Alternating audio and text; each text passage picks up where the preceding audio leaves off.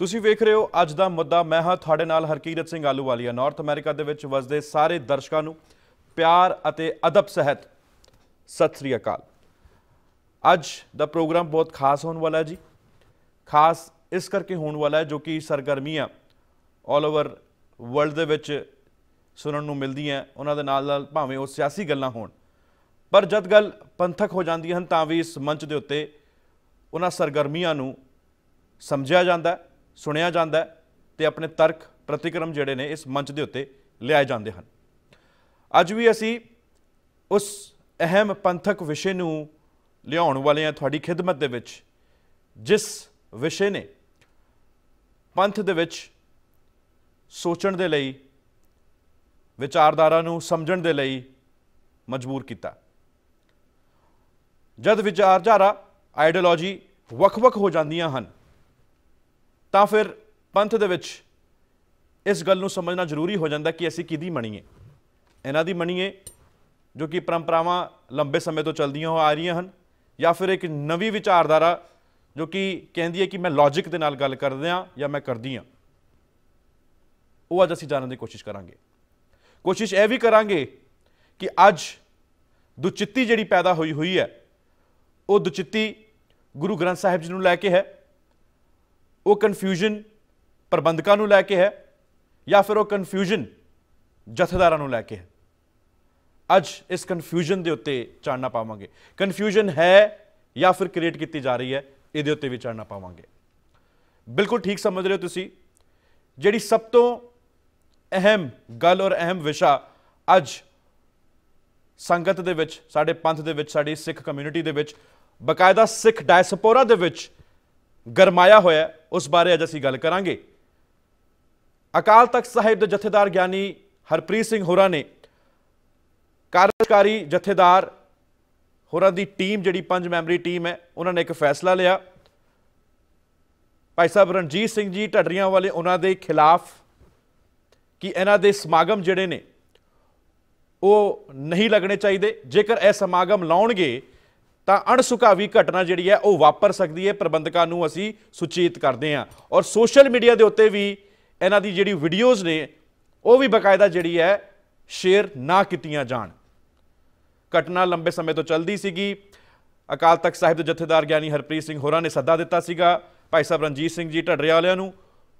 ਲੇਕਿਨ ਉਹ ਕਿਸ ਗੱਲੋਂ ਉੱਥੇ ਨਹੀਂ ਜਾਂਦੇ? ਉਹ ਕਹਿੰਦੇ ਹਨ, ਗੱਲ ਕਰਨੀ ਹੈ ਤਾਂ ਮੇਰੇ ਨਾਲ ਮੰਚ ਦੇ ਉੱਤੇ ਗੱਲ ਕਰੋ। ਔਰ ਉਹ ਮੰਚ ਜਿਹੜਾ ਹੋਏਗਾ ਉਹ ਸੋਸ਼ਲ ਮੀਡੀਆ ਦਾ ਹੋਏਗਾ। ਮੈਂ ਹਰਮੰਦਰ ਸਾਹਿਬ, ਅਕਾਲ ਤਖਤ ਸਾਹਿਬ ਨਹੀਂ ਆਉਂਦਾ। ਉਹ ਕਿਉਂ ਨਹੀਂ ਗਏ? ਔਰ ਇਹ ਫੈਸਲਾ ਗਿਆਨੀ ਹਰਪ੍ਰੀਤ ਸਿੰਘ ਹੋਰਾਂ ਨੂੰ ਕਿਉਂ ਲੈਣਾ ਪਿਆ? ਔਰ ਕਈ ਸਾਰੇ ਇਲਜ਼ਾਮ ਜਿਹੜੇ ਨੇ, ਉਹ ਵੀ ਬਕਾਇਦਾ ਵੱਖ-ਵੱਖ ਜਥੇਬੰਦੀਆਂ ਵੱਲੋਂ ਭਾਈ ਸਾਹਿਬ ਰਣਜੀਤ ਸਿੰਘ ਢੱਡਰੀਆਂ ਵਾਲਿਆਂ ਦੇ ਉੱਤੇ ਲਾਏ ਜਾਂਦੇ ਹਨ। ਇਸ ਬਾਰੇ ਕਰਾਂਗੇ ਅੱਜ ਗੱਲਬਾਤ। ਮੇਰੇ ਨਾਲ ਖੁਦ ਆਪ ਮੌਜੂਦ ਨੇ ਭਾਈ ਸਾਹਿਬ ਰਣਜੀਤ ਸਿੰਘ ਜੀ ਢੱਡਰੀਆਂ ਵਾਲੇ। ਉਹਨਾਂ ਦਾ ਮੈਂ ਇਸ ਮੰਚ ਦੇ ਉੱਤੇ ਨਿੱਘਾ ਸਵਾਗਤ ਕਰਦਾ ਫਤਿਹ ਦੀ ਸਾਂਝ ਪਾਉਂਦਾ। ਵਾਹਿਗੁਰੂ ਜੀ ਕਾ ਖਾਲਸਾ ਵਾਹਿਗੁਰੂ ਜੀ ਕੀ ਫਤਿਹ। ਵਾਹਿਗੁਰੂ ਜੀ ਕਾ ਖਾਲਸਾ ਵਾਹਿਗੁਰੂ ਜੀ ਕੀ ਫਤਿਹ ਜੀ। ਭਾਈ ਸਾਹਿਬ ਸਭ ਤੋਂ ਪਹਿਲਾਂ ਤੇ ਮੈਂ ਉਹੀ ਜਾਨਣਾ ਚਾਹਾਂਗਾ ਕਿ ਜਿਹੜੀ ਅੱਜ ਖਬਰ ਭਾਈ ਸਾਹਿਬ ਰਣਜੀਤ ਸਿੰਘ ਜੀ ਢੱਡਰੀਆਂ ਵਾਲੇ ਬਨਾਮ ਅਕਾਲ ਤਖਤ ਸਾਹਿਬ ਬਨਾਮ ਐਸਜੀਪੀਸੀ ਬਨਾਮ ਗਿਆਨੀ ਹਰਪ੍ਰੀਤ ਸਿੰਘ ਜੀ ਦਥੇਦਾਰ ਅਕਾਲ ਤਖਤ ਸਾਹਿਬ ਕੀ ਕਹਿਣਾ ਚਾਹੋਗੇ? ਇੱਕ ਗੱਲ ਤਾਂ ਹਰਕੀਰਤ ਸਿੰਘ ਜੀ ਕਲੀਅਰ ਅਸੀਂ ਸਮਝੀਏ ਕਿ ਅਕਾਲ ਤਖਤ ਸਾਹਿਬ ਬਨਾਮ ਢੱਡਰੀਆਂ ਵਾਲਾ ਜਾਂ ਢੱਡਰੀਆਂ ਵਾਲਾ ਬਨਾਮ ਅਕਾਲ ਤਖਤ ਜਾਂ ਦਰਬਾਰ ਸਾਹਿਬ ਨਹੀਂ, ਢੱਡਰੀਆਂ ਵਾਲਾ ਬਨਾਮ ਉਥੋਂ ਦਾ ਕਰਪਟ ਸਿਸਟਮ ਮੈਂ ਕਦੇ ਵੀ ਅੱਜ ਤੱਕ ਇਹ ਨਹੀਂ ਕਿਹਾ ਕਿ ਮੈਂ ਦਰਬਾਰ ਸਾਹਿਬ ਦਾ ਸਤਿਕਾਰ ਨਹੀਂ ਕਰਦਾ ਜਾਂ ਅਕਾਲ ਤਖਤ ਸਾਹਿਬ ਨੂੰ ਮੈਂ ਨਹੀਂ ਮੰਨਦਾ। ਮੈਂ ਉਸ ਕਰਪਟ ਸਿਸਟਮ ਨੂੰ ਮੰਨਦਾ। ਜਦੋਂ ਅਸੀਂ ਰਲਗੱਡ ਇਸ ਗੱਲ ਨੂੰ ਕਰਦੇ ਆਂ ਆਮ ਲੋਕਾਂ ਵਿੱਚ ਇਹ ਅਫਵਾਹ ਫੈਲਾਈ ਜਾ ਰਹੀ ਹੈ ਕਿ ਢੱਡਰੀਆਂ ਵਾਲਾ ਹੰਕਾਰੀ ਹੈ ਜਿੱਦੀ ਹੈ ਅਕਾਲ ਤਖਤ ਦੇ ਨਾਲ ਅੜ ਰਿਹਾ। ਜੀ। ਨਾ ਕਿ ਮੈਂ ਅਕਾਲ ਤਖਤ ਸਾਹਿਬ ਨਾਲ ਅੜਨ ਦੀ ਗੱਲ ਕਰ ਰਿਹਾ ਨਾ ਦਰਬਾਰ ਸਾਹਿਬ ਦੀ ਗੱਲ ਕਰ ਰਿਹਾ। ਅਕਾਲ ਤਖਤ ਸਾਹਿਬ ਬਹੁਤ ਵਾਰ ਗਿਆ ਦਰਬਾਰ ਸਾਹਿਬ ਗਿਆ ਅੱਜ ਵੀ ਜਾਣ ਨੂੰ ਤਿਆਰ ਹਾਂ ਹਜ਼ਾਰਾਂ ਵਾਰੀ ਜਾਵਾਂਗੇ। ਸਾਡਾ ਗੁਰ ਅਸਥਾਨ ਹੈ ਸਾਡੇ ਵੱਡਿਆਂ ਦਾ ਗੁਰ ਅਸਥਾਨ ਹੈ ਉਹ ਸਾਡਾ ਸਤਕਾਰ ਸਤਕਾਰਤ ਥਾਂ ਹੈ। ਮਸਲਾ ਹੈਗਾ ਆ ਸਕੱਤਰੇਤ ਵਿੱਚ ਜਥੇਦਾਰਾਂ ਦੇ ਸਾਹਮਣੇ ਪੁਜਾਰੀਆਂ ਦੇ ਸਾਹਮਣੇ ਬੈਠਣ ਦਾ। ਜੀ। ਜਦੋਂ ਇੱਕ ਪਿਕਚਰ ਆਏਗੀ ਕਿ ਅਕਾਲ ਤਖਤ ਸਾਹਿਬ ਤੇ ਦੂਜੇ ਪਾਸੇ ਢੱਡਰੀਆਂ ਵਾਲਾ ਫਿਰ ਸਾਹਮਣੇ ਆਉਣਾ ਹੈ ਗੁਰੂ ਰਾਮਦਾਸ ਸਾਹਿਬ ਤੇ ਛੇਵੇਂ ਪਾਤਸ਼ਾਹ ਗੁਰੂ ਹਰਗੋਬਿੰਦ ਸਾਹਿਬ ਦੀ ਪਿਕਚਰ ਦਿਮਾਗ ਚ ਆਉਂਦੀ ਹੈ। ਇੱਕ ਪਾਸੇ ਢੱਡਰੀਆਂ ਵਾਲਾ ਮਤਲਬ ਅਕਾਲ ਤਖਤ ਮਤਲਬ ਗੁਰੂ ਰਾਮਦਾਸ ਤੇ ਗੁਰੂ ਹਰਗੋਬਿੰਦ ਸਾਹਿਬ। ਜੀ। ਦੂਜਾ ਪਾਸਾ ਹੈ ਰਣਜੀਤ ਸਿੰਘ। ਜੀ। ਤੇ ਜਥੇਦਾਰ ਪੰਜ ਜਥੇਦਾਰਾਂ ਨੂੰ ਸਾਹਮਣੇ ਰੱਖੋ।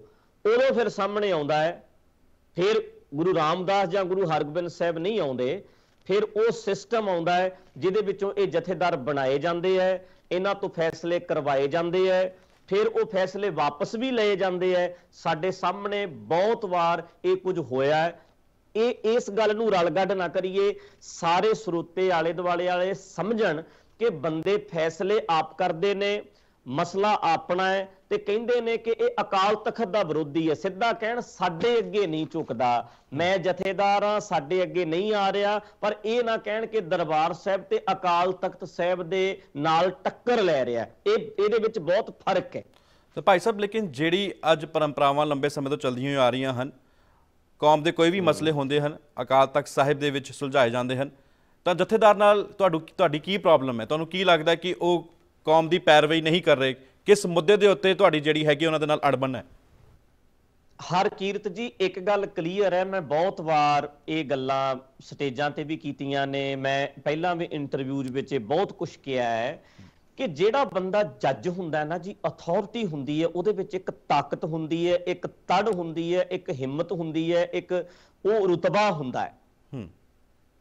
ਉਹ ਰੁਤਬਾ ਜਦੋਂ ਇਦਾਂ ਬੋਲਦਾ ਹੈ ਨਾ ਕਿ ਟਕਸਾਲ ਜਾਂ ਕੋਈ ਵੀ ਬਾਬੇ ਇਹ ਪਰੰਪਰਾਵਾਦੀ ਨੇ ਜੋ ਪੁਰਾਣੀਆਂ ਪਰੰਪਰਾਵਾਂ ਚਲੀਆਂ ਆ ਰਹੀਆਂ ਨੇ ਉਹ ਉਹਨੂੰ ਪਾਲਦੇ ਨੇ ਚਾਹੇ ਉਹ ਬਲੀਆਂ ਦੇਣ ਦੀ ਹੋਵੇ ਬੱਕਰੇ ਵੱਢਣ ਦੀ ਹੋਵੇ ਐਦਾਂ ਦੀਵੇ ਜਗਾਉਣ ਦੀ ਹੋਵੇ ਗੁਰਮਤ ਤੇ ਕੋਈ ਟੁਕਦੀ ਹੈ ਨਹੀਂ ਟੁਕਦੀ ਇਹ ਸਾਰੇ ਉਹਨੂੰ ਫੋਲੋ ਕਰਦੇ ਨੇ। ਪਰ ਨਾਲ ਇੱਕ ਰਣਜੀਤ ਸਿੰਘ ਹੈ ਜਿਹੜਾ ਇੱਕ ਥੋੜਾ ਜਿਹਾ ਵੱਖਰੇ ਢੰਗ ਦੇ ਨਾਲ ਆਪਣੀ ਗੱਲ ਕਹਿਣੀ ਚਾਹੁੰਦਾ ਆ ਲੌਜੀਕ ਨਾਲ ਪ੍ਰੈਕਟੀਕਲ ਗੁਰਬਾਣੀ ਦੇ ਅਰਥ ਕਰਦਾ ਆ। ਹੁਣ ਜਿਸ ਵੇਲੇ ਉਹਨਾਂ ਬੰਦਿਆਂ ਨੇ ਮੇਰੇ ਤੇ ਸ਼ਬੀਲ ਲਾਈ ਹੈ ਮੇਰੇ ਪ੍ਰੋਗਰਾਮ ਰੋਕਣ ਆਉਂਦੇ ਨੇ ਅਥਾਰਟੀ ਜਿਹੜੀ ਹੈ ਨਾ ਇੱਕ ਨਜ਼ਾਰੇ ਵਾਲਾ ਬਿਆਨ ਇੱਕ ਸਵਾਦ ਵਾਲਾ ਜਿਹਨੂੰ ਅਸੀਂ ਕਹਿੰਦੇ ਆ ਉਹ ਕਹਿੰਦੇ ਓਏ ਹਨਾਮ ਸਿੰਘ ਧੁੰਮਾ ਜਾਂ ਕੋਈ ਦੂਜਾ ਤੀਜਾ ਜਾਂ ਅਮਰੀਕ ਸਿੰਘ ਅਜਨਾਲਾ ਤੁਹਾਡੀ ਕੀ ਔਕਾਤ ਹੈ ਕਿ ਤੁਸੀਂ ਕਿਸੇ ਦਾ ਜਾ ਕੇ ਪ੍ਰੋਗਰਾਮ ਰੋਕੋ? ਤੁਹਾਡੇ ਕੋਲ ਅਥਾਰਟੀ ਕੋਈ ਨਹੀਂ। ਹੂੰ।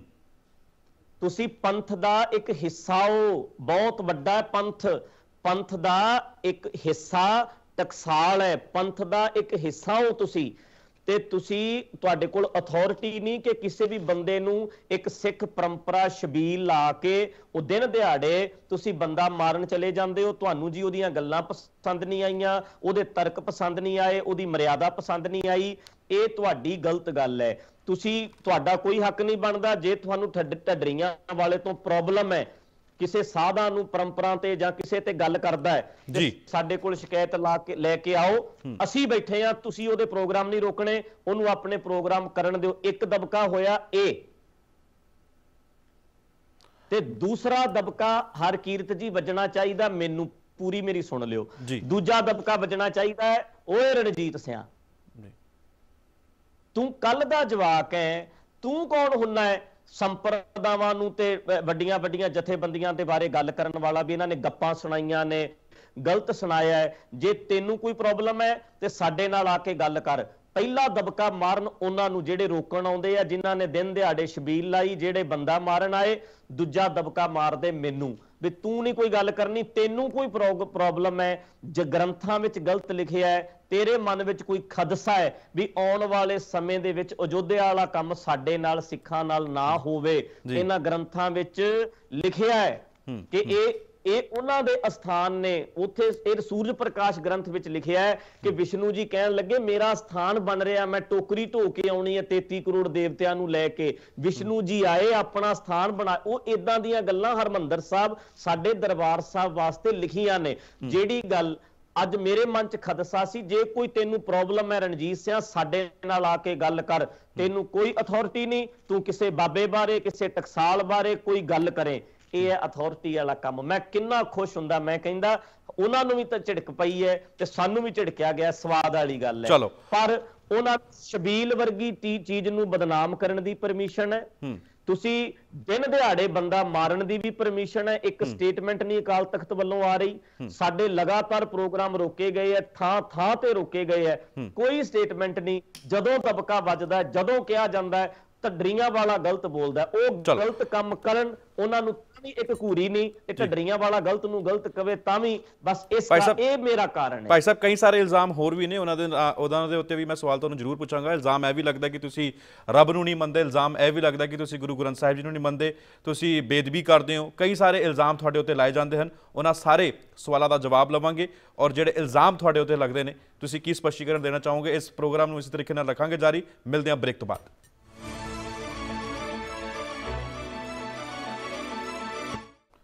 ਬ੍ਰੇਕ ਤੋਂ ਬਾਅਦ ਸਵਾਗਤ ਹੈ ਸਾਡੇ ਨਾਲ ਮੌਜੂਦ ਨੇ ਭਾਈ ਸਾਹਿਬ ਰਣਜੀਤ ਸਿੰਘ ਜੀ ਟਰਨੀਆਂ ਵਾਲੇ, ਉਹਨਾਂ ਤੋਂ ਲਗਾਤਾਰ ਸਵਾਲ ਜਿਹੜੇ ਨੇ ਪੁੱਛੇ ਜਾ ਰਹੇ ਨੇ। ਸੋਸ਼ਲ ਮੀਡੀਆ ਦੇ ਉੱਤੇ ਅਫਵਾਹਾਂ ਦਾ ਵੀ ਬਾਜ਼ਾਰ ਗਰਮ ਹੁੰਦਾ ਔਰ ਸੋਸ਼ਲ ਮੀਡੀਆ ਦੇ ਉੱਤੇ ਜਿਹੜੀ ਇਲਜ਼ਾਮਬਾਜ਼ੀ ਲੱਗਦੀ ਔਰ ਬਕਾਇਦਾ ਜਿਹੜੀ ਅੱਜ ਗੱਲ ਲ- ਰੱਖੀ ਜਾ ਰਹੀ ਹੈ ਔਰ ਇਹ ਵੀ ਕਿਹਾ ਜਾਂਦਾ ਹੈ ਬਕਾਇਦਾ ਜਥੇਦਾਰਾਂ ਵੱਲੋਂ ਕਿ ਰਣਜੀਤ ਸਿੰਘ ਢੱਡਰੀਆਂ ਵਾਲੇ ਰੱਬ ਨੂੰ ਹੀ ਨਹੀਂ ਮੰਨਦਾ, ਰਣਜੀਤ ਸਿੰਘ ਢੱਡਰੀਆਂ ਵਾਲੇ ਗੁਰੂ ਗ੍ਰੰਥ ਸਾਹਿਬ ਨੂੰ ਨਹੀਂ ਮੰਨਦਾ। ਤਾਂ ਆਪਾਂ ਉਹਨੂੰ ਕਿਉਂ ਫੋਲੋ ਕਰੀਏ ਜਾਂ ਫਿਰ ਉਹਦੀ ਗੱਲ ਕਿਉਂ ਸੁਣੀਏ? ਸਿੱਧਾ ਚੱਲਦੇ ਹਾਂ ਭਾਈ ਸਾਹਿਬ ਦੇ ਕੋਲ ਔਰ ਜਾਣਨ ਦੀ ਕੋਸ਼ਿਸ਼ ਕਰਦੇ ਹਾਂ। ਭਾਈ ਸਾਹਿਬ ਜਾਣਨ ਦੀ ਕੋਸ਼ਿਸ਼ ਕਰਾਂਗਾ ਰੱਬ ਕੌਣ ਹੈ? ਜਿਹੜਾ ਗੁਰੂ ਗ੍ਰੰਥ ਸਾਹਿਬ ਜੀ ਨੇ ਸਾਨੂੰ ਦੱਸਿਆ ਜਾਂ ਸਾਨੂੰ ਸਮਝ ਆਉਂਦਾ ਉਹਨਾਂ ਨੇ ਕਿਹਾ ਮਹਾਰਾਜ ਰੱਬ ਨੂੰ ਮਿਲਣਾ ਚਾਹੁੰਦੇ ਆ ਕਹਿੰਦੇ ਬਲਿਹਾਰੀ ਕੁਦਰਤ ਵਸਿਆ। ਹੂੰ। ਇਹਦੇ ਵਿੱਚ ਵਸਿਆ। ਮੈਂ ਜੀ ਰੱਬ ਨਾਲ ਸਾਂਝ ਪਾਉਣੀ ਚਾਹੁੰਦਾ ਕੁਦਰਤ ਵਿੱਚ ਵਸਿਆ ਇਹਦੇ ਨਾਲ ਸਾਂਝ ਪਾਓ। ਮੈਂ ਜੀ ਰੱਬ ਨੂੰ ਸਮਝਣਾ ਚਾਹੁੰਦਾ ਗੁਰੂ ਨਾਨਕ ਦਾ ਇਸ਼ਾਰਾ ਹੈ ਬਲਿਹਾਰੀ ਕੁਦਰਤ ਵਸਿਆ। ਜੇ ਰੱਬ ਨੂੰ ਸਮਝਣਾ ਹੈ ਤੇ ਇਹਨੂੰ ਸਮਝ। ਨਿਤ ਨਵਾਂ ਹੈ। ਕੁਦਰਤ ਦਾ ਨਿਯਮ ਲਾਅ ਆਫ ਨੇਚਰ ਵਿਧਾਨ ਜਿਹੜਾ ਬਣਿਆ ਹੋਇਆ ਹੈ, ਇਹਨੂੰ ਫੋਲੋ ਕਰੋ ਇਹਨੂੰ ਸਮਝੋ ਇਹਨੂੰ ਮੰਨੋ ਇਹਦੇ ਚੋਂ ਨਿਕਲਿਓ ਇਹਦੇ ਵਿੱਚ ਹੀ ਆਖਰ ਨੂੰ ਸਮਾ ਜਾਣਾ। ਹੂੰ। ਤੇ ਤੁਹਾਡੇ ਲਿਹਾਜ਼ ਨਾਲ ਪਰਿਭਾਸ਼ਾ ਜਿਹੜੀ ਹੈਗੀ ਹੈ, ਕੁਦਰਤ ਜਿਹੜਾ ਹੈਗਾ ਬੇਸਿਕਲੀ ਉਹਨੂੰ ਮੰਨੀਏ ਤਾਂ ਉਹੀ ਰੱਬ ਹੈਗਾ।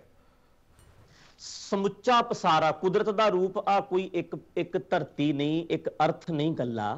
ਹੂੰ। ਸਮੁੱਚਾ ਪਸਾਰਾ ਜੋ ਕੁਝ ਵੀ ਇੱਥੇ ਹੈ ਉਹ ਇੱਕ ਹੈ। ਹੂੰ। ਕਰਨ ਕਾਰਨ ਪ੍ਰਭ ਏਕ ਹੈ। ਜਾਂ ਕਹਿ ਲੋ ਨਿਰਗੁਣ ਆਪ ਸਰਗੁਣ ਵੀ ਉਹੀ ਕਲਾ ਧਾਰ ਜਿਨ ਸਗਲੀ ਮੋਹੀ। ਜਿਹੜਾ ਦਿਸਦਾ ਇਹਨੂੰ ਸਰਗੁਣ ਬਣਾਇਆ ਕਿਹਾ ਜਾਂਦਾ ਹੈ ਪਰ ਜਿਹੜਾ ਅਣ ਦਿਸਦਾ ਹੈ ਉਹ ਨਿਰਗੁਣ ਹੂੰ।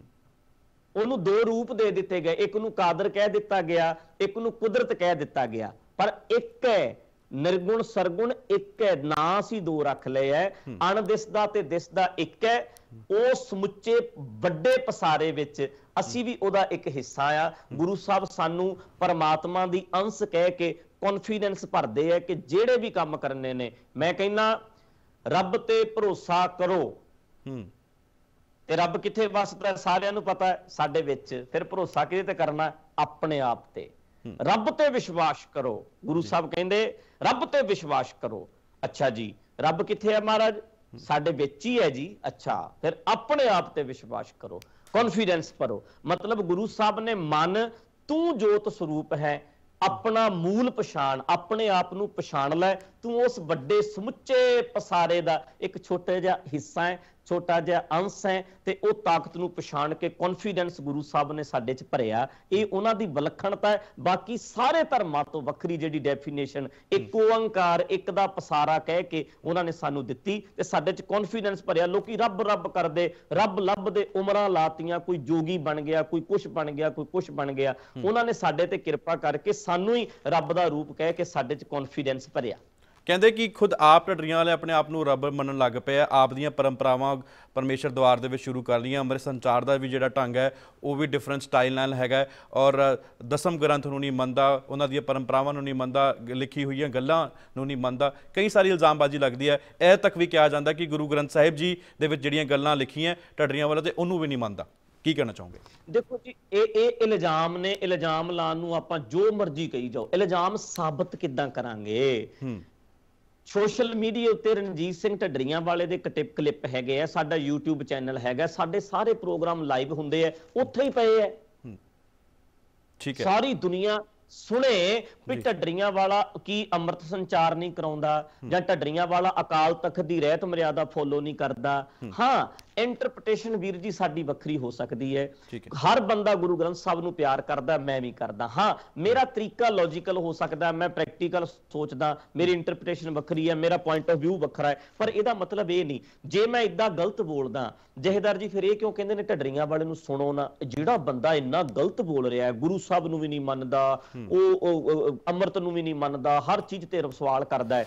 ਫਿਰ ਉਹ ਜਿਹੜਾ ਰਣਜੀਤ ਸਿੰਘ ਢੱਡਰੀਆਂ ਵਾਲਾ ਉਹਨੂੰ ਤੇ ਸੁਣਿਆ ਜਾਵੇ ਉਹਦੀ ਬਕਵਾਸ ਦਾ ਤਾਂ ਪਤਾ ਲੱਗੇਗਾ ਦੁਨੀਆ ਵਿੱਚ। ਜਹੇਦਾਰ ਜੀ ਦੀ ਸਟੇਟਮੈਂਟ ਆਉਣੀ ਚਾਹੀਦੀ ਸੀ ਅਸੀਂ ਜਿਹੜੇ ਪੰਜ ਆ ਅਸੀਂ ਇਦਾਂ ਹੀ ਨਹੀਂ ਬੈਠ ਗਏ।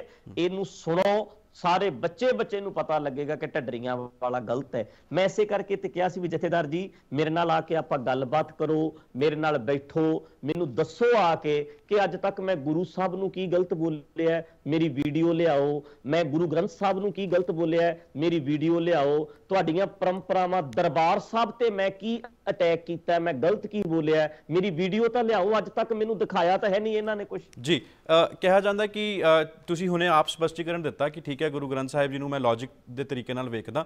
ਤੇ ਤੁਸੀਂ ਇਹ ਵੀ ਮੰਨਦੇ ਹੋ ਕਿ ਤੁਸੀਂ ਦਸਮ ਗ੍ਰੰਥ ਦੇ ਉੱਤੇ ਵੀ ਵਿਸ਼ਵਾਸ ਰੱਖਦੇ ਹੋ? ਨਹੀਂ ਦੇਖੋ ਗੁਰੂ ਗ੍ਰੰਥ ਸਾਹਿਬ ਚਵਰ ਛਤਰ ਤਖਤ ਦੇ ਮਾਲਕ ਹਨ। ਜੀ। ਤੇ ਜੋ ਅਕਾਲ ਤਖਤ ਸਾਹਿਬ ਜੀ ਦੀ ਸਿੱਖ ਰਹਿਤ ਮਰਿਆਦਾ ਬਣੀ ਹੈ ਉਹਦੇ ਵਿੱਚ ਜੋ ਬਾਣੀਆਂ ਨੇ ਅਸੀਂ ਪੜ੍ਹਦੇ ਹਾਂ ਅਸੀਂ ਮੰਨਦੇ ਹਾਂ। ਹੂੰ। ਕੰਟਰੋਵਰਸੀ ਚੱਲਦੀ ਹੈ ਦਸਮ ਗ੍ਰੰਥ ਉੱਤੇ ਅਕਾਲ ਤਖਤ ਨੇ ਕਿਹਾ ਦੇ ਉੱਤੇ ਕੋਈ ਸਟੇਟਮੈਂਟ ਨਾ ਦਵੇ ਨਾ ਹੱਕ 'ਚ ਨਾ ਵਿਰੋਧ 'ਚ। ਜੀ। ਤੇ ਉਹਦੇ ਤੇ ਕੋਈ ਸਵਾਲ ਵੀ ਨਹੀਂ ਅਸੀਂ ਕੀਤਾ ਕਦੇ। ਹੂੰ। ਹਾਂ, ਉਸ ਵੇਲੇ ਜ਼ਰੂਰ ਮੈਂ ਸਵਾਲ ਕੀਤਾ ਹੈ, ਜਦੋਂ ਨਰਿੰਦਰ ਮੋਦੀ ਨੇ ਕਿਹਾ ਹੈ ਕਿ ਇਹਦੇ ਵਿੱਚ ਰਾਮਾ ਅਵਤਾਰ ਰਾਮ ਜੀ ਦੀ ਕਥਾ ਲਿਖੀ ਗਈ ਹੈ ਗੁਰੂ ਗੋਬਿੰਦ ਸਿੰਘ ਨੇ ਰਮਾਇਣ ਲਿਖੀ ਹੈ। ਉਦੋਂ ਮੈਂ ਕਿਹਾ ਯਾਰ ਇਹਦਾ ਹੱਲ ਕਰੋ। ਅਗਲੇ ਨੇ ਰਾਮਾਵਤਾਰ ਦਸਮ ਗ੍ਰੰਥ 'ਚ ਲਿਖਿਆ ਹੈ ਕ੍ਰਿਸ਼ਨਾਵਤਾਰ ਗ੍ਰ- ਦਸਮ ਗ੍ਰੰਥ 'ਚ ਲਿਖਿਆ ਹੈ ਤੇ ਉਹਨੇ ਅੱਜ ਕਹਿ ਦਿੱਤਾ ਵੀ ਗੁਰੂ ਗੋਬਿੰਦ ਸਿੰਘ ਦੀ ਰਚਨਾ ਹੈ। ਆਉਣ ਵਾਲੇ ਸਮੇਂ 'ਚ ਹੋਰ ਵੀ ਬਹੁਤ ਕੁਝ ਕਹਿਣਗੇ। ਇਹਦੇ ਬਾਰੇ ਸੋਚੋ ਵਿਚਾਰੋ ਆਗੂ ਫੈਸਲਾ ਲਓ ਤਾਂ ਜੋ ਆਉਣ ਵਾਲੇ ਸਮੇਂ 'ਚ ਕਿਸੇ ਨੂੰ ਮੌਕਾ ਨਾ ਮਿਲੇ ਇਹ ਗੱਲਾਂ ਕਹਿਣ ਦਾ। ਭਾਈ ਸਾਹਿਬ ਇੱਕ ਗੱਲ ਹੋਰ ਵੀ ਇੱਥੇ ਕਹੀ ਜਾਂਦੀ ਹੈ ਕਿ ਬਾਰ-ਬਾਰ ਅ, ਰੱਡਰੀਆਂ ਵਾਲੇ ਕਹਿੰਦੇ ਨੇ ਕਿ ਲਿਫਾਫੇ ਤੋਂ ਨਿਕਲੇ ਨੇ ਜਥੇਦਾਰ। ਉਹਨਾਂ ਦੇ ਜਿਹੜੇ ਪੈਕੇਟ ਨੇ ਆਲਰੇਡੀ ਬਣ ਕੇ ਆਉਂਦੇ ਨੇ। ਪਰ ਢੱਡਰੀਆਂ ਵਾਲੇ ਨੇ ਇਹ ਨਹੀਂ ਦੱਸਿਆ ਜਿਹੜੇ ਲਿਫਾਫੇ ਤੋਂ ਨਿਕਲੇ ਨੇ। ਉਹਨਾਂ ਦੇ ਬਾਰੇ ਕਦੀ ਕੁਝ ਸਟੇਟਮੈਂਟ ਨਹੀਂ ਦਿੱਤੀ। ਸਰਕਾਰ ਦੇ ਬਾਰੇ ਕਦੀ ਕੁਝ ਨਹੀਂ ਕਿਹਾ। ਜਿਹੜੇ ਪੰਜਾਬ ਦੇ ਮਸਲੇ ਨੇ ਕਿਸਾਨੀ ਪੰਜਾਬ ਦੀ ਸਿੱਖਿਆ ਪੰਜਾਬ ਦੀ ਯੂ نو ਹੋਰ ਜਿਹੜੇ ਇਸ਼ੂਜ਼ ਨੇ ਲੈਂਡ ਮਾਫੀਆ ਨਸ਼ਾ ਕਹਿੰਦੇ ਉਹਦੇ ਬਾਰੇ ਕਦੀ ਨਹੀਂ ਬੋਲਦੇ। ਕਹਿੰਦੇ ਇਹਨਾਂ ਦੇ ਵਿੱਚ ਹੀ ਉਲਝੇ ਰਹਿੰਦੇ ਨੇ। ਰੋਜ਼ ਸੁਣੋ ਨਾ ਜੀ ਮੇਰੇ ਕਲਿੱਪ ਸੁਣ ਲਓ। ਮੈਂ ਤਾਂ ਜਗ੍ਹਾ ਜਗ੍ਹਾ ਬਾਰ-ਬਾਰ ਥਾਂ-ਥਾਂ ਤੇ ਚਾਹੇ ਸਰਕਾਰਾਂ ਪੁਰਾਣੀਆਂ ਸੀ ਤੇ ਚਾਹੇ ਸਰਕਾਰਾਂ ਮੌਜੂਦਾ ਨੇ। ਹੂੰ। ਹਰ ਵੇਲੇ ਮੈਂ ਸਟੇਟਮੈਂਟ ਦਿੱਤੀ ਹੈ। ਮੈਂ ਕਿਹੜੇ ਵੇਲੇ ਚੁੱਪ ਕੀਤਾ ਵੀ ਢੱਡਰੀਆਂ ਵਾਲਾ ਪੰਜਾਬ ਦੇ ਜਿਹੜੇ ਮੁੱਦੇ ਹੈ ਪੰਜਾਬ ਦੇ ਜਿਹੜੇ ਮਸਲੇ ਆ ਉਹਦੇ ਤੇ ਬੋਲਦਾ ਨਹੀਂ। ਮੈਨੂੰ ਤਾਂ ਪੱਤਰਕਾਰ ਸਗੋਂ ਆ ਕੇ ਇਹ ਕਹਿੰਦੇ ਨੇ ਭਾਈ ਸਾਹਿਬ ਕਿਹੜਾ ਮਸਲਾ ਜੇ ਤੇ ਗੱਲ ਨਹੀਂ ਕਰਦੇ ਕਦੇ ਤਾਂ ਕਿਸੇ ਵਿਸ਼ੇ ਤੇ ਚੁੱਪ ਕਰ ਜਾਇਆ ਕਰੋ। ਹੂੰ। ਤੇ ਜੇਕਰ ਹੁਣ ਹੁਣ ਹਾਲ ਫਿਲਹਾਲ ਦੀ ਸਰਕਾਰ ਦੀ ਗੱਲ ਕਰੀ ਤੁਹਾਨੂੰ ਲੱਗਦਾ ਹੈ ਕਿ ਕੰਮ ਵਧੀਆ ਤਰੀਕੇ ਨਾਲ ਕਰ ਰਹੇ ਨੇ ਜਾਂ ਫਿਰ ਕਮੀ ਹੈਗੀ ਹੈ ਹਜੇ ਵੀ? ਔਰ ਜਿਹੜੀਆਂ ਪੁਰਾਣੀਆਂ ਸਰਕਾਰਾਂ ਸੀਗੀਆਂ ਜਥੇਦਾਰ ਜਿਸ ਲਿਫਾਫੇ ਤੋਂ ਨਿਕਲਦੇ ਨੇ ਉਹ ਕੌਣ ਨੇ? ਉਹ ਵੀ ਥੋੜਾ ਸਪਸ਼ਟੀਕਰਨ ਦਿਓ। ਨਹੀਂ ਉਹ ਤਾਂ ਸਾਨੂੰ ਸਾਰਿਆਂ ਨੂੰ ਪਤਾ ਆ ਜੀ। ਸਾਡੇ ਚ ਦੋ ਹੀ ਪਾਰਟੀਆਂ ਇੱਕ ਅਕਾਲੀ ਦਲ ਕਾਬਜ ਹੈਗਾ ਦੂਜਾ ਕਾਂਗਰਸ ਹੈ। ਜੀ। ਸਾਡੇ ਵਾਸਤੇ ਤਾਂ ਦੇਖੋ ਮੈਂ ਇੱਕ ਗੱਲ ਕਹਿਣਾ ਹੁੰਨਾ ਜੇ ਸਾਰੀ ਗੱਲ ਸਮਝਣੀ ਚਾਹੁੰਦੇ ਹੋ ਵੀ ਰॉ ਮਟੀਰੀਅਲ ਹੈ ਜਿਹੜਾ ਸਾਡਾ ਹੂੰ। ਉਸੇ ਰॉ ਮਟੀਰੀਅਲ ਦੇ ਵਿੱਚੋਂ ਹੀ ਸਾਰਾ ਕੁਝ ਬਣਨਾ ਹੈ। ਸਾਡਾ ਰॉ ਮਟੀਰੀਅਲ ਜਿੰਨਾ ਚਿਰ ਮਾੜਾ ਹੈ ਉਹਦੇ ਨਾਲ ਚਾਹੇ ਤਾਂ ਤੁਸੀਂ ਠੇਕਾ ਬਣਾ ਲਓ ਉਹ ਵੀ ਪਿਲਪਲਾ ਹੀ ਬਣਨਾ ਹੈ। ਹੂੰ। ਪਿੱਲਾ ਹੀ ਬਣਨਾ ਹੈ। ਤੇ ਚਾਹੇ ਗੁਰਦੁਆਰਾ ਬਣਾ ਲੋਗੇ ਗੁਰਦੁਆਰੇ ਦੀ ਬਿਲਡਿੰਗ ਵੀ ਛੇਤੀ ਵੀ ਢਹਿ ਜਾਣੀ ਹੈ ਕਿਉਂਕਿ ਤੁਹਾਡਾ ਰॉ ਮਟੀਰੀਅਲ ਮਾੜਾ। ਸਾਡਾ ਬੱਚਿਆਂ ਦੇ ਉੱਤੇ ਸਾਡੀ ਸਾਈਕੀ ਦੇ ਉੱਤੇ ਸਾਡੇ ਸੁਭਾਅ ਤੇ ਕੰਮ ਹੋਣ ਵਾਲਾ ਹੈ। ਉਹਦੇ ਵਿੱਚੋਂ ਜਦੋਂ ਲੀਡਰ ਨਿਕਲਣਗੇ ਤੁਸੀਂ ਤਾਂ ਅਮਰੀਕਾ ਵੀਰ ਜੀ ਬੈਠੇ ਹੋ। ਇੱਥੇ ਰਹਿ ਕੇ ਗਏ ਹੋ ਇੰਨਾ ਚਿਰ ਤੁਸੀਂ ਇੱਥੇ ਪੱਤਰਕਾਰ ਰਹੇ ਹੋ ਸੀਨੀਅਰ ਪੱਤਰਕਾਰਾਂ 'ਚ ਹੁਣ ਤੁਸੀਂ ਦੇਖੋ ਉੱਥੇ ਦੇ ਰॉ ਮਟੀਰੀਅਲ ਵਿੱਚ ਤੇ ਇੱਥੇ ਦੇ ਰॉ ਮਟੀਰੀਅਲ 'ਚ ਫ਼ਰਕ ਹੈ ਜਦੋਂ ਤੁਸੀਂ ਉੱਥੋਂ ਦਾ ਰॉ ਮਟੀਰੀਅਲ ਕਿਸੇ ਵੀ ਫੀਲਡ ਵਿੱਚ ਲੈ ਜਾਓ ਚਾਹੇ ਰਾਜਨੀਤੀ ਵਿੱਚ ਲੈ ਜਾਓਗੇ ਚਾਹੇ ਤੁਸੀਂ ਕਿਸੇ ਵੀ ਸਮਾਜ ਦੇ ਖੇਤਰ 'ਚ ਲਿਜਾਓਗੇ ਉਹਨਾਂ ਵਿੱਚ ਫ਼ਰਕ ਹੈ। ਸਾਡੇ ਨਾਲੋਂ ਦਿਨ ਰਾਤ ਦਾ ਫ਼ਰਕ ਹੈ ਇਮਾਨਦਾਰੀ ਦਾ ਫ਼ਰਕ ਹੈ। ਰॉ ਮਟੀਰੀਅਲ 95% ਮਾੜਾ ਤੇ 5% ਚੰਗਾ ਹੈ। ਜਦੋਂ ਅਸੀਂ ਉੱਥੋਂ ਬੰਦੇ ਚੱਕ ਕੇ ਰਾਜਨੀਤੀ 'ਚ ਲਿਜਾਣੇ ਆ ਰੇਸ਼ੋ ਆਉਂਦੀ ਹੈ 95 5 ਦੀ। ਸਮਾਜ ਦੇ ਵਿੱਚ ਕੋਈ ਬੰਦੇ ਕੰਮ ਕਰਦੇ ਨੇ 95 5 ਦੀ ਰੇਸ਼ੋ ਆਉਂਦੀ ਹੈ। ਜਿੱਦਣ ਧਰਮ ਦੇ ਵਿੱਚ ਉਹ ਬੰਦੇ ਰਿਓ ਮਟੀਰੀਅਲ ਉੱਥੋਂ ਹੀ ਚੱਕਣਾ ਹੈ ਨਾ ਤੁਸੀਂ ਨਵੇਂ ਬੰਦੇ ਤਾਂ ਪੈਦਾ ਨਹੀਂ ਹੋਏ ਉੱਥੇ ਵੀ 95 5 ਦੀ ਰੇਸ਼ੋ ਹੀ ਆ ਰਹੀ ਹੈ। 95% ਕਰਪਟ ਸਿਸਟਮ ਹੈ ਪਾਰਟੀਆਂ ਬਦਲਣ ਨਾਲ ਕੁਝ ਨਹੀਂ ਫ਼ਰਕ ਪੈਂਦਾ। ਉਹ ਸਿਸਟਮ ਜਿਹੜਾ ਸਾਡੀ ਸਾਈਕੀ ਹੈ ਉਹ ਉਦਾਂ ਦੀ ਹੋਈ ਹੈ। ਇਹ ਵੀ ਸਿੱਖ ਡਾਇਸਪੋਰਾ ਸਾਡੇ ਜਿਹੜੇ ਐਨਆਰਆਈ ਭਰਾ ਨੇ ਸਵਾਲ ਪੁੱਛਣਾ ਚਾਹੁੰਦੇ ਨੇ ਤੁਹਾਡੇ ਤੋਂ। ਉਹਨਾਂ ਨੇ ਕਿਹਾ ਕਿ ਜਰੂਰ ਭਾਈ ਸਾਹਿਬ ਤੋਂ ਬਾਦਲ ਪਰਿਵਾਰ ਨੇ ਜਿਸ ਤਰੀਕੇ ਨਾਲ ਆਪਣੀ ਕਬਜ਼ਾ ਕੀਤਾ ਹੋਇਆ ਹੈ ਜੀਪੀਸੀ ਦੇ ਉੱਤੇ ਔਰ ਘਾਣ ਕੀਤਾ ਪਿਛਲੇ 10 ਸਾਲਾਂ ਦੇ ਵਿੱਚ ਬਾਦਲ ਪਰਿਵਾਰ ਬਾਰੇ ਅੱਜ ਤੱਕ ਕਦੀ ਭਾਈ ਸਾਹਿਬ ਨੇ ਕੁਝ ਜ਼ਿਕਰ ਨਹੀਂ ਕੀਤਾ। ਕੀ ਉਹਨਾਂ ਦੀ ਕੋਈ ਹੱਟੀ ਸੱਟੀ ਹੈਗੀ ਹੈ ਬਾਦਲ ਪਰਿਵਾਰ ਦੇ ਨਾਲ? ਨਹੀਂ ਦੇਖੋ ਇਦਾਂ ਦੀ ਗੱਲ ਨਹੀਂ ਹੈਗੀ ਕਿਉਂਕਿ ਮੈਂ ਕੋਈ ਸਿੱਧਾ ਜੇ ਹੁਣ ਅੱਜ ਮੈਂ ਬਾਦਲ ਤੇ ਅਟੈਕ ਕਰਾਂਗਾ ਲੋਕ ਕਹਿਣਗੇ ਕਾਂਗਰਸੀ ਹੈ ਹੂੰ। ਜੇ ਮੈਂ ਕਾਂਗਰਸ ਤੇ ਅਟੈਕ ਕਰੂੰਗਾ ਲੋਕ ਕਹਿਣਗੇ ਅਕਾਲੀ ਦਲ ਦਾ ਹੋ ਗਿਆ ਇਹ ਆਮ ਆਦਮੀ ਨਾਲ ਰਲ ਗਿਆ। ਮੇਰਾ ਮੰਨਣਾ ਵੀਰ ਜੀ ਮੈਂ ਨਾ ਇਸ ਕਰਕੇ ਨਹੀਂ ਲੈ ਰਿਹਾ। ਨਾ ਲੈਣ 'ਚ ਕੀ ਪ੍ਰੋਬਲਮ ਹੈ? ਬਰਗਾੜੀ ਦਾ ਗੁੱਸਾ ਬਾਦਲਾਂ ਨੂੰ ਹੈ ਨਹੀਂ ਮੇਰੇ ਤੇ। ਵੀ ਬਰਗਾੜੀ ਵਿੱਚ ਇਹ ਬੰਦਾ ਬੈਠਾ ਸੀ ਗੁਰੂ ਗ੍ਰੰਥ ਸਾਹਿਬ ਦੀ ਬੇਅਦਬੀ ਦਾ ਮਸਲਾ ਬਾਦਲਾਂ ਨੂੰ ਲੈ ਨਹੀਂ ਬੈਠਾ। ਤੇ ਉਸ ਕਰਕੇ ਗੁੱਸਾ ਉਹਨਾਂ ਨੂੰ ਹੋਏਗਾ। ਮੈਂ ਨਾ ਇਸ ਕਰਕੇ ਸਿੱਧਾ ਸਪਸ਼ਟ ਨਹੀਂ ਲੈਂਦਾ ਤਾਂ ਜੋ ਅਗਲਾ ਕੱਲ ਨੂੰ ਇਹ ਨਾ ਕਵੇ ਖਨੀ ਦੂਜੀ ਪਾਰਟੀ ਵਾਲੇ ਨੇ ਇਹਨੂੰ ਬਾਤਾ ਤਾਂ ਕਰਕੇ ਬਾਦਲਾਂ ਦੇ ਵਿਰੁੱਧ ਬੋਲੀ ਜਾਂਦਾ। ਕਹਿੰਦੇ ਕੇਂਦਰ ਸਰਕਾਰ ਵੱਲੋਂ ਵੀ ਹੱਲਾਸ਼ੇਰੀ ਹੈਗੀ ਹੈ ਬੀਜੇਪੀ ਵੱਲੋਂ ਵੀ ਹੱਲਾਸ਼ੇਰੀ ਹੈਗੀ ਹੈ ਭਾਈ ਸਾਹਿਬ ਰਣਜੀਤ ਸਿੰਘ ਢੱਡਰੀਆਂ ਵਾਲਿਆਂ ਨੂੰ ਕਦੀ ਆਰਐਸਐਸ ਦੇ ਖਿਲਾਫ ਨਹੀਂ ਬੋਲੇ। ਇਹ ਇਹ ਤਾਂ ਫਿਰ ਹੁਣ ਦੇਖੋ ਕਿੱਡੀ ਸੋਚਣ ਵਾਲੀ ਗੱਲ ਹੈ ਕਿ ਆਰਐਸਐਸ ਦਾ ਗੱਠਜੋੜ ਹੈਗਾ ਆ ਬਾਦਲਾਂ ਨਾਲ। ਤੇ ਬਾਦਲਾਂ ਦੇ ਖਾਸ ਹੈਗੇ ਨੇ ਬਾਬਾ ਹਰਨਾਮ ਸਿੰਘ ਧੁੰਮਾ। ਜੀ। ਤੇ ਆਰਐਸਐਸ ਦਾ ਬੰਦਾ ਰਣਜੀਤ ਸਿੰਘ ਕਿਵੇਂ ਹੋ ਗਿਆ? ਹੁਣ ਆਰਐਸਐਸ ਨਾਲ ਇਕਬਾਲ ਸਿੰਘ ਦੀ ਸਿੱਧੀ ਸਾਂਝ ਹੈ। ਹੂੰ। ਤੇ ਇਕਬਾਲ ਸਿੰਘ ਨੇ ਸਟੇਟਮੈਂਟ ਦਿੱਤੀ ਹੈ ਉਹਦੇ ਵਾਸਤੇ ਜਹੇਦਾਰ ਜੀ ਨੇ ਇੰਨਾ ਹੀ ਬਿਆਨ ਦਿੱਤਾ ਹੈ। ਅਸੀਂ ਉਹਦੇ ਨਾਲ ਸਹਿਮਤ ਨਹੀਂ। ਤੇ ਪਤਾ ਨਹੀਂ ਲੱਗਦਾ ਵੀ ਆਰਐਸਐਸ ਦਾ ਹੁੰਦਾ ਤੇ ਉਹਨਾਂ ਨੇ ਚਿੱਠੀ ਖੜਕਣੀ ਸੀ ਕੁੰਡੀ ਬਾਦਲਾਂ ਵੱਲ ਤੇ ਬਾਦਲਾਂ ਦੀ ਟੱਲੀ ਖੜਕਣੀ ਸੀ ਜਥੇਦਾਰਾਂ ਵੱਲ ਤੇ ਜਥੇ ਐਦਾਂ ਦਾ ਫੈਸਲਾ ਕਿਵੇਂ ਆ ਜਾਂਦਾ? ਹੂੰ ਹੂੰ। ਇਹ ਫਿਰ ਇਹ ਫੈਸਲੇ ਤੋਂ ਪਤਾ ਲੱਗਦਾ ਨਹੀਂ ਇਕਬਾਲ ਸਿੰਘ ਪ੍ਰਤੀ ਇੰਨਾ ਨਰਮ ਰਵਈਆ ਤੇ ਢੱਡੀ ਢੱਡਰੀਆਂ ਵਾਲੇ ਪ੍ਰਤੀ ਐਡਾ ਸਖਤ ਰਵਈਆ ਪਤਾ ਲੱਗਦਾ ਵੀ ਕੌਣ ਸਰਕਾਰ ਦਾ ਜੇ ਮੈਂ ਸਰਕਾਰ ਦਾ ਹੁੰਦਾ ਤੇ ਐਦਾਂ ਦੇ ਫੈਸਲੇ ਨਾ ਆਉਂਦੇ। ਬਿਲਕੁਲ। ਭਾਈ ਸਾਹਿਬ ਲਗਾਤਾਰ ਇਸ ਸਵਾਲਾਂ ਦੇ ਸਿਲਸਿਲੇ ਨੂੰ ਅਸੀਂ ਜਾਰੀ ਰੱਖਾਂਗੇ। ਫਿਲਹਾਲ ਇੱਕ ਬ੍ਰੇਕ ਲਈ ਇੱਥੇ ਰੁਕ ਰਹੇ ਜਦ ਬ੍ਰੇਕ ਤੋਂ ਬਾਅਦ ਵਾਪਸ ਆਵਾਂਗੇ। ਲਗਾਤਾਰ ਇਸ ਮੁੱਦੇ ਨੂੰ ਇਸੇ ਤਰੀਕੇ ਨਾਲ ਰੱਖਾਂਗੇ ਜਾਰੀ। ਬ੍ਰੇਕ ਤੋਂ ਬਾਅਦ ਸਵਾਗਤ ਹੈ। ਸਾਡੇ ਨਾਲ ਮੌਜੂਦ ਨੇ ਭਾਈ ਸਾਹਿਬ ਰਣਜੀਤ ਸਿੰਘ ਜੀ ਢੱਡਰੀਆਂ ਵਾਲੇ। ਲਗਾਤਾਰ ਸਵਾਲ ਉਹਨਾਂ ਦੇ ਨਾਲ ਜਾਰੀ ਨੇ ਸਾਡੇ। ਭਾਈ ਸਾਹਿਬ, ਹੁਣ ਗੱਲ ਕਰ ਲਈਏ ਕਿ ਕਿਹਾ ਜਾਂਦਾ ਹੈ ਕਿ ਇਹ ਵੀ ਸਵਾਲ ਪੁੱਛਿਆ ਜਾਏ ਭਾਈ ਸਾਹਿਬ ਰਣਜੀਤ ਸਿੰਘ ਢੱਡਰੀਆਂ ਵਾਲੇ ਤੋਂ ਕਿ ਉਹਨਾਂ ਦੀ ਕਿਰਤ ਕੀ ਹੈ?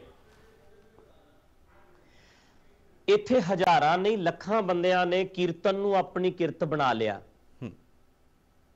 ਕਥਾਵਾਚਕਾਂ ਨੇ ਕਥਾ ਨੂੰ ਹੀ ਆਪਣੀ ਕਿਰਤ ਬਣਾ ਲਿਆ। ਸਾਡੇ ਬੜੇ ਬੜੇ ਮਾਰਤੰਡ ਪ੍ਰਚਾਰਕ ਜਿਨ੍ਹਾਂ ਨੇ ਕੀਰਤਨ ਨੂੰ ਹੀ ਕਿਰਤ ਆਪਣੀ ਬਣਾ ਕੇ ਰੱਖਿਆ ਤੇ ਢੱਡਰੀਆਂ ਵਾਲੇ ਨੂੰ ਵੀ ਅੱਜ ਤੋਂ 20 25 ਸਾਲ ਪਹਿਲਾਂ ਜਦੋਂ ਲੋਕ ਸੁਣਨ ਲੱਗੇ ਐ ਤਾਂ ਮੈਂ ਸੋਚਿਆ ਇਹ ਕੰਮ ਠੀਕ ਹੈ ਆਪਣਾ ਨਾਲੇ ਪ੍ਰਚਾਰ ਕਰਾਂਗੇ ਨਾਲੇ ਰੋਟੀ ਤਾਂ ਮਿਲੇਗੀ। ਹੀ। ਔਰ ਬੜੀ ਸੋਹਣੀ ਮਿਲੇਗੀ। ਹਾਂਜੀ। ਕਹਿੰਦੇ ਪ੍ਰਚਾਰ ਪ੍ਰਚਾਰ ਇਸ ਤਰੀਕੇ ਨਾਲ ਕੀਤਾ, ਲੋਕਾਂ ਦੀ ਸੰਗਤਾਂ ਨੇ ਇਸ ਤਰੀਕੇ ਨਾਲ ਹੱਲਾਸ਼ੇਰੀ ਵੀ ਦਿੱਤੀ ਕਿ ਅੱਜ ਉਸੇ ਪ੍ਰਚਾਰ ਔਰ ਉਸੇ ਗੋਲਕ ਤੋਂ ਢੱਡਰੀਆਂ ਵਾਲੇ ਜਿਹੜੇ ਨੇ, ਉਹ ਵਧੀਆ ਮਹਿੰਗੀ ਮਹਿੰਗੀ ਸ਼ਾਲਾਂ ਮਹਿੰਗੇ ਮਹਿੰਗੇ ਪੋਸ਼ਾਕ, ਮਹਿੰਗੀ ਮਹਿੰਗੀ ਗੱਡੀਆਂ, ਮਹਿੰਗੀ ਮਹਿੰਗੀ ਘੜੀਆਂ ਔਰ ਡੇਰਾਵਾਦ ਦੀ ਗੱਲ ਕਰਦੇ ਸੀ, ਲੇਕਿਨ ਇਹ ਤਾਂ ਖੁਦ ਆਪ ਹੀ ਡੇਰਾਵਾਦ ਕ੍ਰੀਏਟ ਕਰ ਰਹੇ ਨੇ ਪੰਜਾਬ ਦੇ ਵਿੱਚ। ਕਹਿੰਦੇ ਬਾਬਾ ਰਾਮ ਰਹੀਮ ਔਰ ਢੱਡਰੀਆਂ ਵਾਲੇ ਚ ਕੀ ਫ਼ਰਕ ਹੈ? ਨਹੀਂ ਕਹਿਣ ਨੂੰ ਜੀ ਜੋ ਮਰਜ਼ੀ ਕੋਈ ਕਹਿੰਦਾ ਰਵੇ ਬਿਲਕੁਲ ਕੋਈ ਸ਼ੱਕ ਨਹੀਂ ਵੱਡੀਆਂ ਵੱਡੀਆਂ ਗੱਡੀਆਂ ਰੱਖੀਆਂ ਬਾਬਿਆਂ ਵਿੱਚ ਸੀ ਜਦੋਂ ਹੀ ਗੁਰਮਤ ਦੀ ਸਮਝ ਆਈ ਆਪਣੇ ਆਪ ਨੂੰ ਬਦਲਿਆ। ਮੇਰੇ ਕੱਪੜਿਆਂ ਦੀ ਜੇ ਗੱਲ ਕਰੀਏ ਤਾਂ ਮੇਰਾ ਸਾਰਾ ਕੁਝ ਜਿਹੜਾ ਮੈਂ ਪਾਇਆ ਹੋਇਆ ਹੈ ਉਹ ਬਣ ਜਾਣਾ ਜੀ ਤਕਰੀਬਨ 12 ਤੇ 1500 ਵਿੱਚ ਕਿਉਂਕਿ ਸਿੱਧਾ ਚਿੱਟਾ ਕੱਪੜਾ ਲੈ ਕੇ ਚੋਲਾ ਬਣ ਜਾਂਦਾ ਹੈ। ਹਾਂ। ਤੇ ਤੁਹਾਡੇ ਨਾਲ ਤੁਹਾਡੇ ਮੇਰੇ ਪੰਜ ਬਣ ਜਾਣਗੇ ਜੀ ਘੱਟ ਤੋਂ ਘੱਟ ਜਿਹੜੀ ਪੈਂਟ ਕੋਟ ਪਾਈ ਹੈ। ਇਹ ਨਾਰਮਲ ਗੱਲ ਹੈ। ਉਹ ਕੀ ਹੈ ਕਿ ਰੌਲਾ ਹੁਣ ਆਹ ਸ਼ਾਲ ਇਹ ਕੋਈ ਮੰਨ ਲਓ ਛੋਟਾ ਜਿਹਾ ਕੱਪੜਾ ਹੈ ਤੇ ਇਹ ਕਿੰਨੇ ਕੁ ਦਾ ਹੋਣਾ ਤੁਹਾਨੂੰ ਲੱਗਦਾ ਕਹਿੰਦੇ ਬ੍ਰਾਂਡਡ ਘੜੀਆਂ ਆ, ਕਹਿੰਦੇ ਲਾਮ ਲਸ਼ਕਰ ਏਦਾਂ ਦੇ 20 ਤੋਂ 25 ਬਾਡੀਗਾਰਡ ਅੱਗੇ 20 ਤੋਂ 25 ਗੱਡੀਆਂ ਕਹਿੰਦੇ ਲਾਮ ਲਸ਼ਕਰ ਲੈ ਕੇ ਚੱਲਦੇ ਨੇ। ਔਰ ਗੱਲ ਕਹਿੰਦੇ ਨੇ ਮੈਂ ਤਾਂ ਸਧਾਰਨ ਵਿਅਕਤੀ ਹਾਂ। ਕਹਿੰਦੇ ਇਹ ਸਧਾਰਨ ਚ ਤਾਂ ਫਿਰ ਜਿਹੜੇ ਹੋਰ ਬੰਦੇ ਨੇ ਉਹਨਾਂ ਚ ਕੀ ਫ਼ਰਕ ਹੈ? ਦੇਖੋ ਜੇ ਮੈਂ ਇਦਾਂ ਲਾਮ ਲਸ਼ਕਰ ਲੈ ਕੇ ਚੱਲਦਾ ਸੀ ਤੇ ਸ਼ਬੀਲ ਲਾ ਕੇ ਮੇਰੇ ਇੰਨੇ ਬੰਦ- ਕਿਵੇਂ ਮਾਰ ਗਏ? ਮੈਂ ਲਾਮ ਲਸ਼ਕਰ ਲੈ ਕੇ ਜੇ ਚੱਲਦਾ ਸੀ। ਹਾਂ। ਆ ਹੁਣ ਮਜਬੂਰੀ ਬਣ ਗਈ ਕਿ ਇਹਨਾਂ ਨੇ ਜਗ੍ਹਾ ਜਗ੍ਹਾ ਮੈਂ ਤਾਂ ਅਮਰੀਕਾ ਵਿੱਚ ਵੀ ਆਉਣਾ ਤਾਂ ਮੈਨੂੰ ਸਿਕਿਉਰਿਟੀ ਦਾ ਪ੍ਰਬੰਧ ਕਰਨਾ ਪੈਂਦਾ। ਯਾਰ ਇੰਨੇ ਵਧੀਆ ਦੇਸ਼ ਦੇ ਵਿੱਚ ਆ ਕੇ ਉਹਦਾ ਕਾਰਨ ਇਹ ਹੈ ਇਹਨਾਂ ਲੋਕਾਂ ਨੇ ਗੁੰਡਾਗਰਦੀ ਕੀਤੀ ਹੈ ਧੱਕਾ ਕੀਤਾ ਦਿਨ ਦਿਹਾੜੇ ਬੰਦਾ ਮਾਰਿਆ। ਬਿਨਾ ਸਿਕਿਉਰਿਟੀ ਤੋਂ ਬਾਹਰ ਨਿਕਲ ਨਹੀਂ ਦਿੰਦੇ। ਤੇ ਉਹਦੇ ਨਾਲੋਂ ਚੰਗਾ ਹੈ ਕਿ ਡੈਮੋਕ੍ਰੇਸੀ ਸਿਸਟਮ ਦੇ ਵਿੱਚ ਅੱਜ ਤੁਹਾਨੂੰ ਕੋਈ ਪੱਤਰਕਾਰ ਹੋ, ਤੁਸੀਂ ਕੋਈ ਤੁਹਾਡੇ ਉੱਤੇ ਗੱਲ ਆ ਜਾਵੇ ਕਿ ਤੁਹਾਨੂੰ ਕੋਈ ਧਮਕੀ ਆਉਂਦੀ ਹੈ ਤਾਂ ਤੁਹਾਡੇ ਕੋਲੇ ਬਿਨਾ ਪ੍ਰਸ਼ਾਸਨ ਤੋਂ ਡੈਮੋਕ੍ਰੇਸੀ ਵਿੱਚ ਜਾਣ ਦਾ ਹੋਰ ਕੋਈ ਰਾਹ ਹੀ ਨਹੀਂ ਬਚਦਾ, ਜਾਂ ਫਿਰ ਇਹਨਾਂ ਨਾਲ ਆਪ ਲੜੋ, ਮੁਕਾਬਲਾ ਕਰੋ, ਆਪਣੇ ਬੰਦਿਆਂ ਨੂੰ ਹਥਿਆਰ ਫੜਾਓ, ਉਹਨਾਂ ਨੂੰ ਕਹੋ ਜਦੋਂ ਤੁਹਾਨੂੰ ਇਹ ਰੋਕਣਗੇ, ਜਦੋਂ ਸਾਡੇ ਦੀਵਾਨ ਰੋਕਣ ਆਉਂਦੇ ਨੇ, ਗੋਲੀਆਂ ਚਲਾ ਦਿਓ, ਫਿਰ ਕਹਿਣਗੇ, ਇਹ ਜੀ ਸਨ 78 ਵਾਲਾ ਕੰਮ ਹੋ ਗਿਆ, ਢੱਡਰੀਆਂ ਵਾਲਾ ਨਿਰੰਕਾਰੀਆ ਬਣਦਾ, ਫਿਰ ਇਹਨਾਂ ਨੇ ਇਦਾਂ ਦੀਆਂ ਸਟੇਟਮੈਂਟਾਂ ਦੇਣੀਆਂ ਨੇ। ਆਪਣੀ ਪ੍ਰੋਟੈਕਸ਼ਨ ਕਰਦੇ ਆ ਵੀਰ ਜੀ ਬਚ-ਬਚ ਕੇ ਰਹਿੰਦੇ ਆ ਟਕਸਾਲੀਆਂ ਤੋਂ। ਡਰਦਾ ਮਾਰਾ ਸਿਕਿਉਰਿਟੀ ਲੈ ਕੇ ਬਾਹਰ ਨਿਕਲਦਾ ਕਿਉਂਕਿ ਇਹ ਗੁੰਡੇ ਬੰਦੇ ਆ ਹੂੰ। ਭਾਈ ਸਾਹਿਬ ਇੱਕ ਗੱਲ ਹੋਰ ਵੀ ਮੈਂ ਜ਼ਰੂਰ ਪੁੱਛਣਾ ਚਾਹਾਂਗਾ। ਸਾਰੀ ਗੱਲਾਂ ਠੀਕ ਨੇ।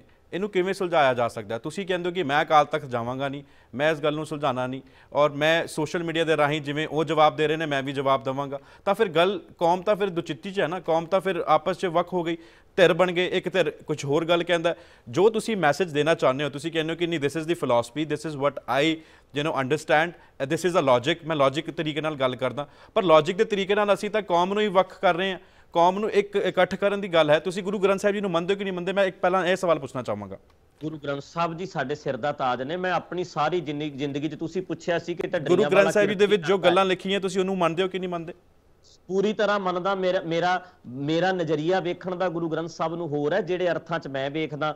ਮੈਂ ਮੰਨਦਾ। ਮੈਂ ਮੈਂ ਇੱਕ ਇੱਕ ਇੱਕ ਸੈਕਿੰਡ ਲਈ ਤੁਹਾਨੂੰ ਕਹਿ ਦਿਆਂ ਮੈਂ ਗੁਰੂ ਗ੍ਰੰਥ ਸਾਹਿਬ ਨੂੰ ਪਿਆਰ ਕਰਦਾ ਤਾਂ ਹੀ ਮੈਂ ਕੀਰਤਨ ਨੂੰ ਕਿਰਤ ਬਣਾ ਕੇ ਜੋ ਅੱਜ ਤੱਕ ਮੈਨੂੰ ਮਿਲਿਆ ਪਿਛਲੇ 20 ਸਾਲਾਂ 'ਚ ਜੋ ਅੱਜ ਤੱਕ ਮੈਨੂੰ ਮਿਲਿਆ ਇਹ ਸਾਰਾ ਕੁਝ ਮੈਂ ਗੁਰੂ ਗ੍ਰੰਥ ਸਾਹਿਬ ਦੇ ਨਾਮ ਕਰਵਾਇਆ ਹੈ। ਇਹ ਮੇਰੀ ਨਿੱਜੀ ਪ੍ਰਾਪਰਟੀ ਨਹੀਂ, ਮੇਰੇ ਬੱਚੇ ਨਹੀਂ ਅੱਗੇ ਸਾਂਭ ਸਕਦੇ, ਮੇਰੀ ਫੈਮਿਲੀ ਮੈਂਬਰ ਨਹੀਂ ਸਾਂਭ ਸਕਦੇ। ਜੇ ਪਿਆਰ ਕਰਦਾ ਸੀ ਤਾਂ ਹੀ ਗੁਰੂ ਗ੍ਰੰਥ ਸਾਹਿਬ ਦੇ ਨਾਂ ਕਰਾਇਆ। ਤੇ ਫਿਰ ਇਸ ਗੱਲ ਨੂੰ ਵੀ ਮੰਨਦੇ ਹੋਵੋਗੇ ਕਿ ਹੋਵੋ ਕਤਰ ਮਿਲੋ ਮੇਰੇ ਭਾਈ, ਦੁਵਿਧਾ ਦੂਰ ਕਰੋ ਲਿਵਲਾਈ ਤਾਂ ਫਿਰ ਆਪਾਂ ਇਸ ਗੱਲ ਨੂੰ ਕਿਉਂ ਨਹੀਂ ਮੰਨਦੇ?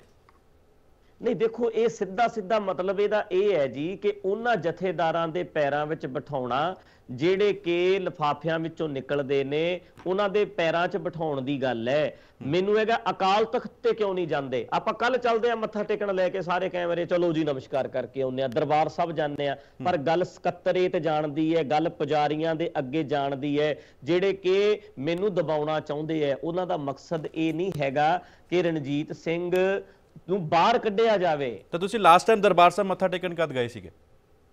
ਮੈਨੂੰ ਘੱਟ ਤੋਂ ਘੱਟ 4 ਸਾਲ ਹੋ ਗਏ ਆ ਕਿਉਂਕਿ ਮੈਂ 2 ਸਾਲ ਪਹਿਲਾਂ ਦੀਵਾਨ ਦਿੱਤੇ ਸੀ ਮੈਂ ਦਰਬਾਰ ਸਾਹਿਬ ਅੰਮ੍ਰਿਤਸਰ ਜਾਣਾ ਸੀ ਪ੍ਰੋਗਰਾਮ ਕਰਨ। ਉਦੋਂ ਇਹਨਾਂ ਨੇ ਰੋਕ ਦਿੱਤਾ ਰੌਲਾ ਪਾਤਾ ਉਸ ਕਰਕੇ ਵਿੱਚ ਹੀ ਰਹਿ ਗਿਆ ਸ਼ਾਇਦ ਉਦੋਂ ਮੈਂ ਜਾਂਦਾ। ਹੂੰ।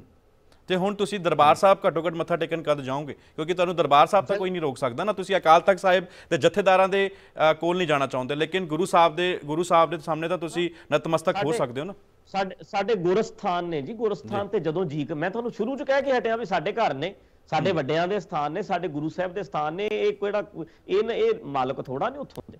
ਤੇ ਜਿਹੜੇ ਉਸ ਤੋਂ ਬਾਅਦ ਮੈਂ ਤੁਹਾਨੂੰ ਗੱਲ ਕਹੀ ਹੋਵੋ ਕਤਰ ਮਿਲੋ ਮੇਰੇ ਭਾਈ ਦੁਵਿਧਾ ਦੂਰ ਕਰੋ ਲਿਵਲਾਈ ਉਸ ਤੋਂ ਬਾਅਦ ਇਹ ਗੱਲ ਵੀ ਕਹੀ ਜਾਂਦੀ ਹੈ ਕਿ ਹਰਨਾਮੇ ਕਾ ਹੋਵੇ ਜੋੜੀ ਗੁਰਮੁਖ ਬੈਠੋ ਸਫਾ ਵਿਛਾਈ। ਤਾਂ ਫਿਰ ਕਿਉਂ ਨਹੀਂ ਇਸ ਗੱਲ ਨੂੰ ਅਸੀਂ ਮੰਨਦੇ ਕਿਉਂ ਨਹੀਂ ਅਸੀਂ ਜਿਹੜੇ ਪ੍ਰੋਬਲਮਸ ਨੂੰ ਸੁਲਝਾਈਏ? ਨਹੀਂ ਮੈਂ ਬੇਨਤੀ ਇਹ ਕਰਦਾ ਵੀ ਜਥੇਦਾਰਾਂ ਦਾ ਰਵਈਆ ਅੱਜ ਤੱਕ ਇਹ ਗੱਲ ਮੇਰੇ ਤੇ ਹੀ ਲਾਗੂ ਕਿਉਂ ਹੁੰਦੀ ਹੈ ਕਿ ਢੱਡਰੀਆਂ ਵਾਲਾ ਗੁਰ ਭਾਈ ਆਪਾਂ ਬਣ ਕੇ ਬੈਠੀਏ? ਢੱਡਰੀਆਂ ਵਾਲੇ ਨੂੰ ਕਹੀਏ ਵੀ ਤੂੰ ਗੁਰ ਭਾਈ ਬਣ ਕੇ ਬੈਠ। ਇਹ ਉਹਨਾਂ ਨੂੰ ਕਿਉਂ ਨਹੀਂ ਕਿਹਾ ਜਾਂਦਾ ਕਿ ਸ਼ਬੀਲ ਲਾ ਕੇ ਬੰਦਾ ਮਾਰਨ ਵਾਲਾ ਕੰਮ ਕਰਕੇ ਤੁਸੀਂ ਸਫਾ ਤੇ ਕਿੱਦਾਂ ਬੈਠੋਗੇ ਯਾਰ? ਹੂੰ। ਉਹਦੇ ਪ੍ਰੋਗਰਾਮ ਰੋਕ ਕੇ ਸਫਾ ਤੇ ਕਿੱਦਾਂ ਬੈਠੋਗੇ? ਜਥੇਦਾਰ ਜੀ ਤੁਸੀਂ ਉਹਦੇ ਪ੍ਰੋਗਰਾਮਾਂ ਨੂੰ ਕਹਿ ਰਹੇ ਹੋ ਆਨਲਾਈਨ ਵੀ ਨਾ ਸੁਣੋ ਉਹਨੂੰ ਸ਼ੇਅਰ ਵੀ ਨਾ ਕਰੋ ਸਫਾ ਤੇ ਕਿੱਦਾਂ ਬੈਠੋਗੇ? ਉਹ ਬੰਦੇ ਨਾਲ 5 ਸਾਲ ਤੋਂ ਲਗਾਤਾਰ ਧੱਕਾ ਕਰ ਰਹੇ ਹੋ ਬੰਦਾ ਕਿੱਦਾਂ ਬੈਠੇਗਾ ਤੁਹਾਡੇ ਨਾਲ?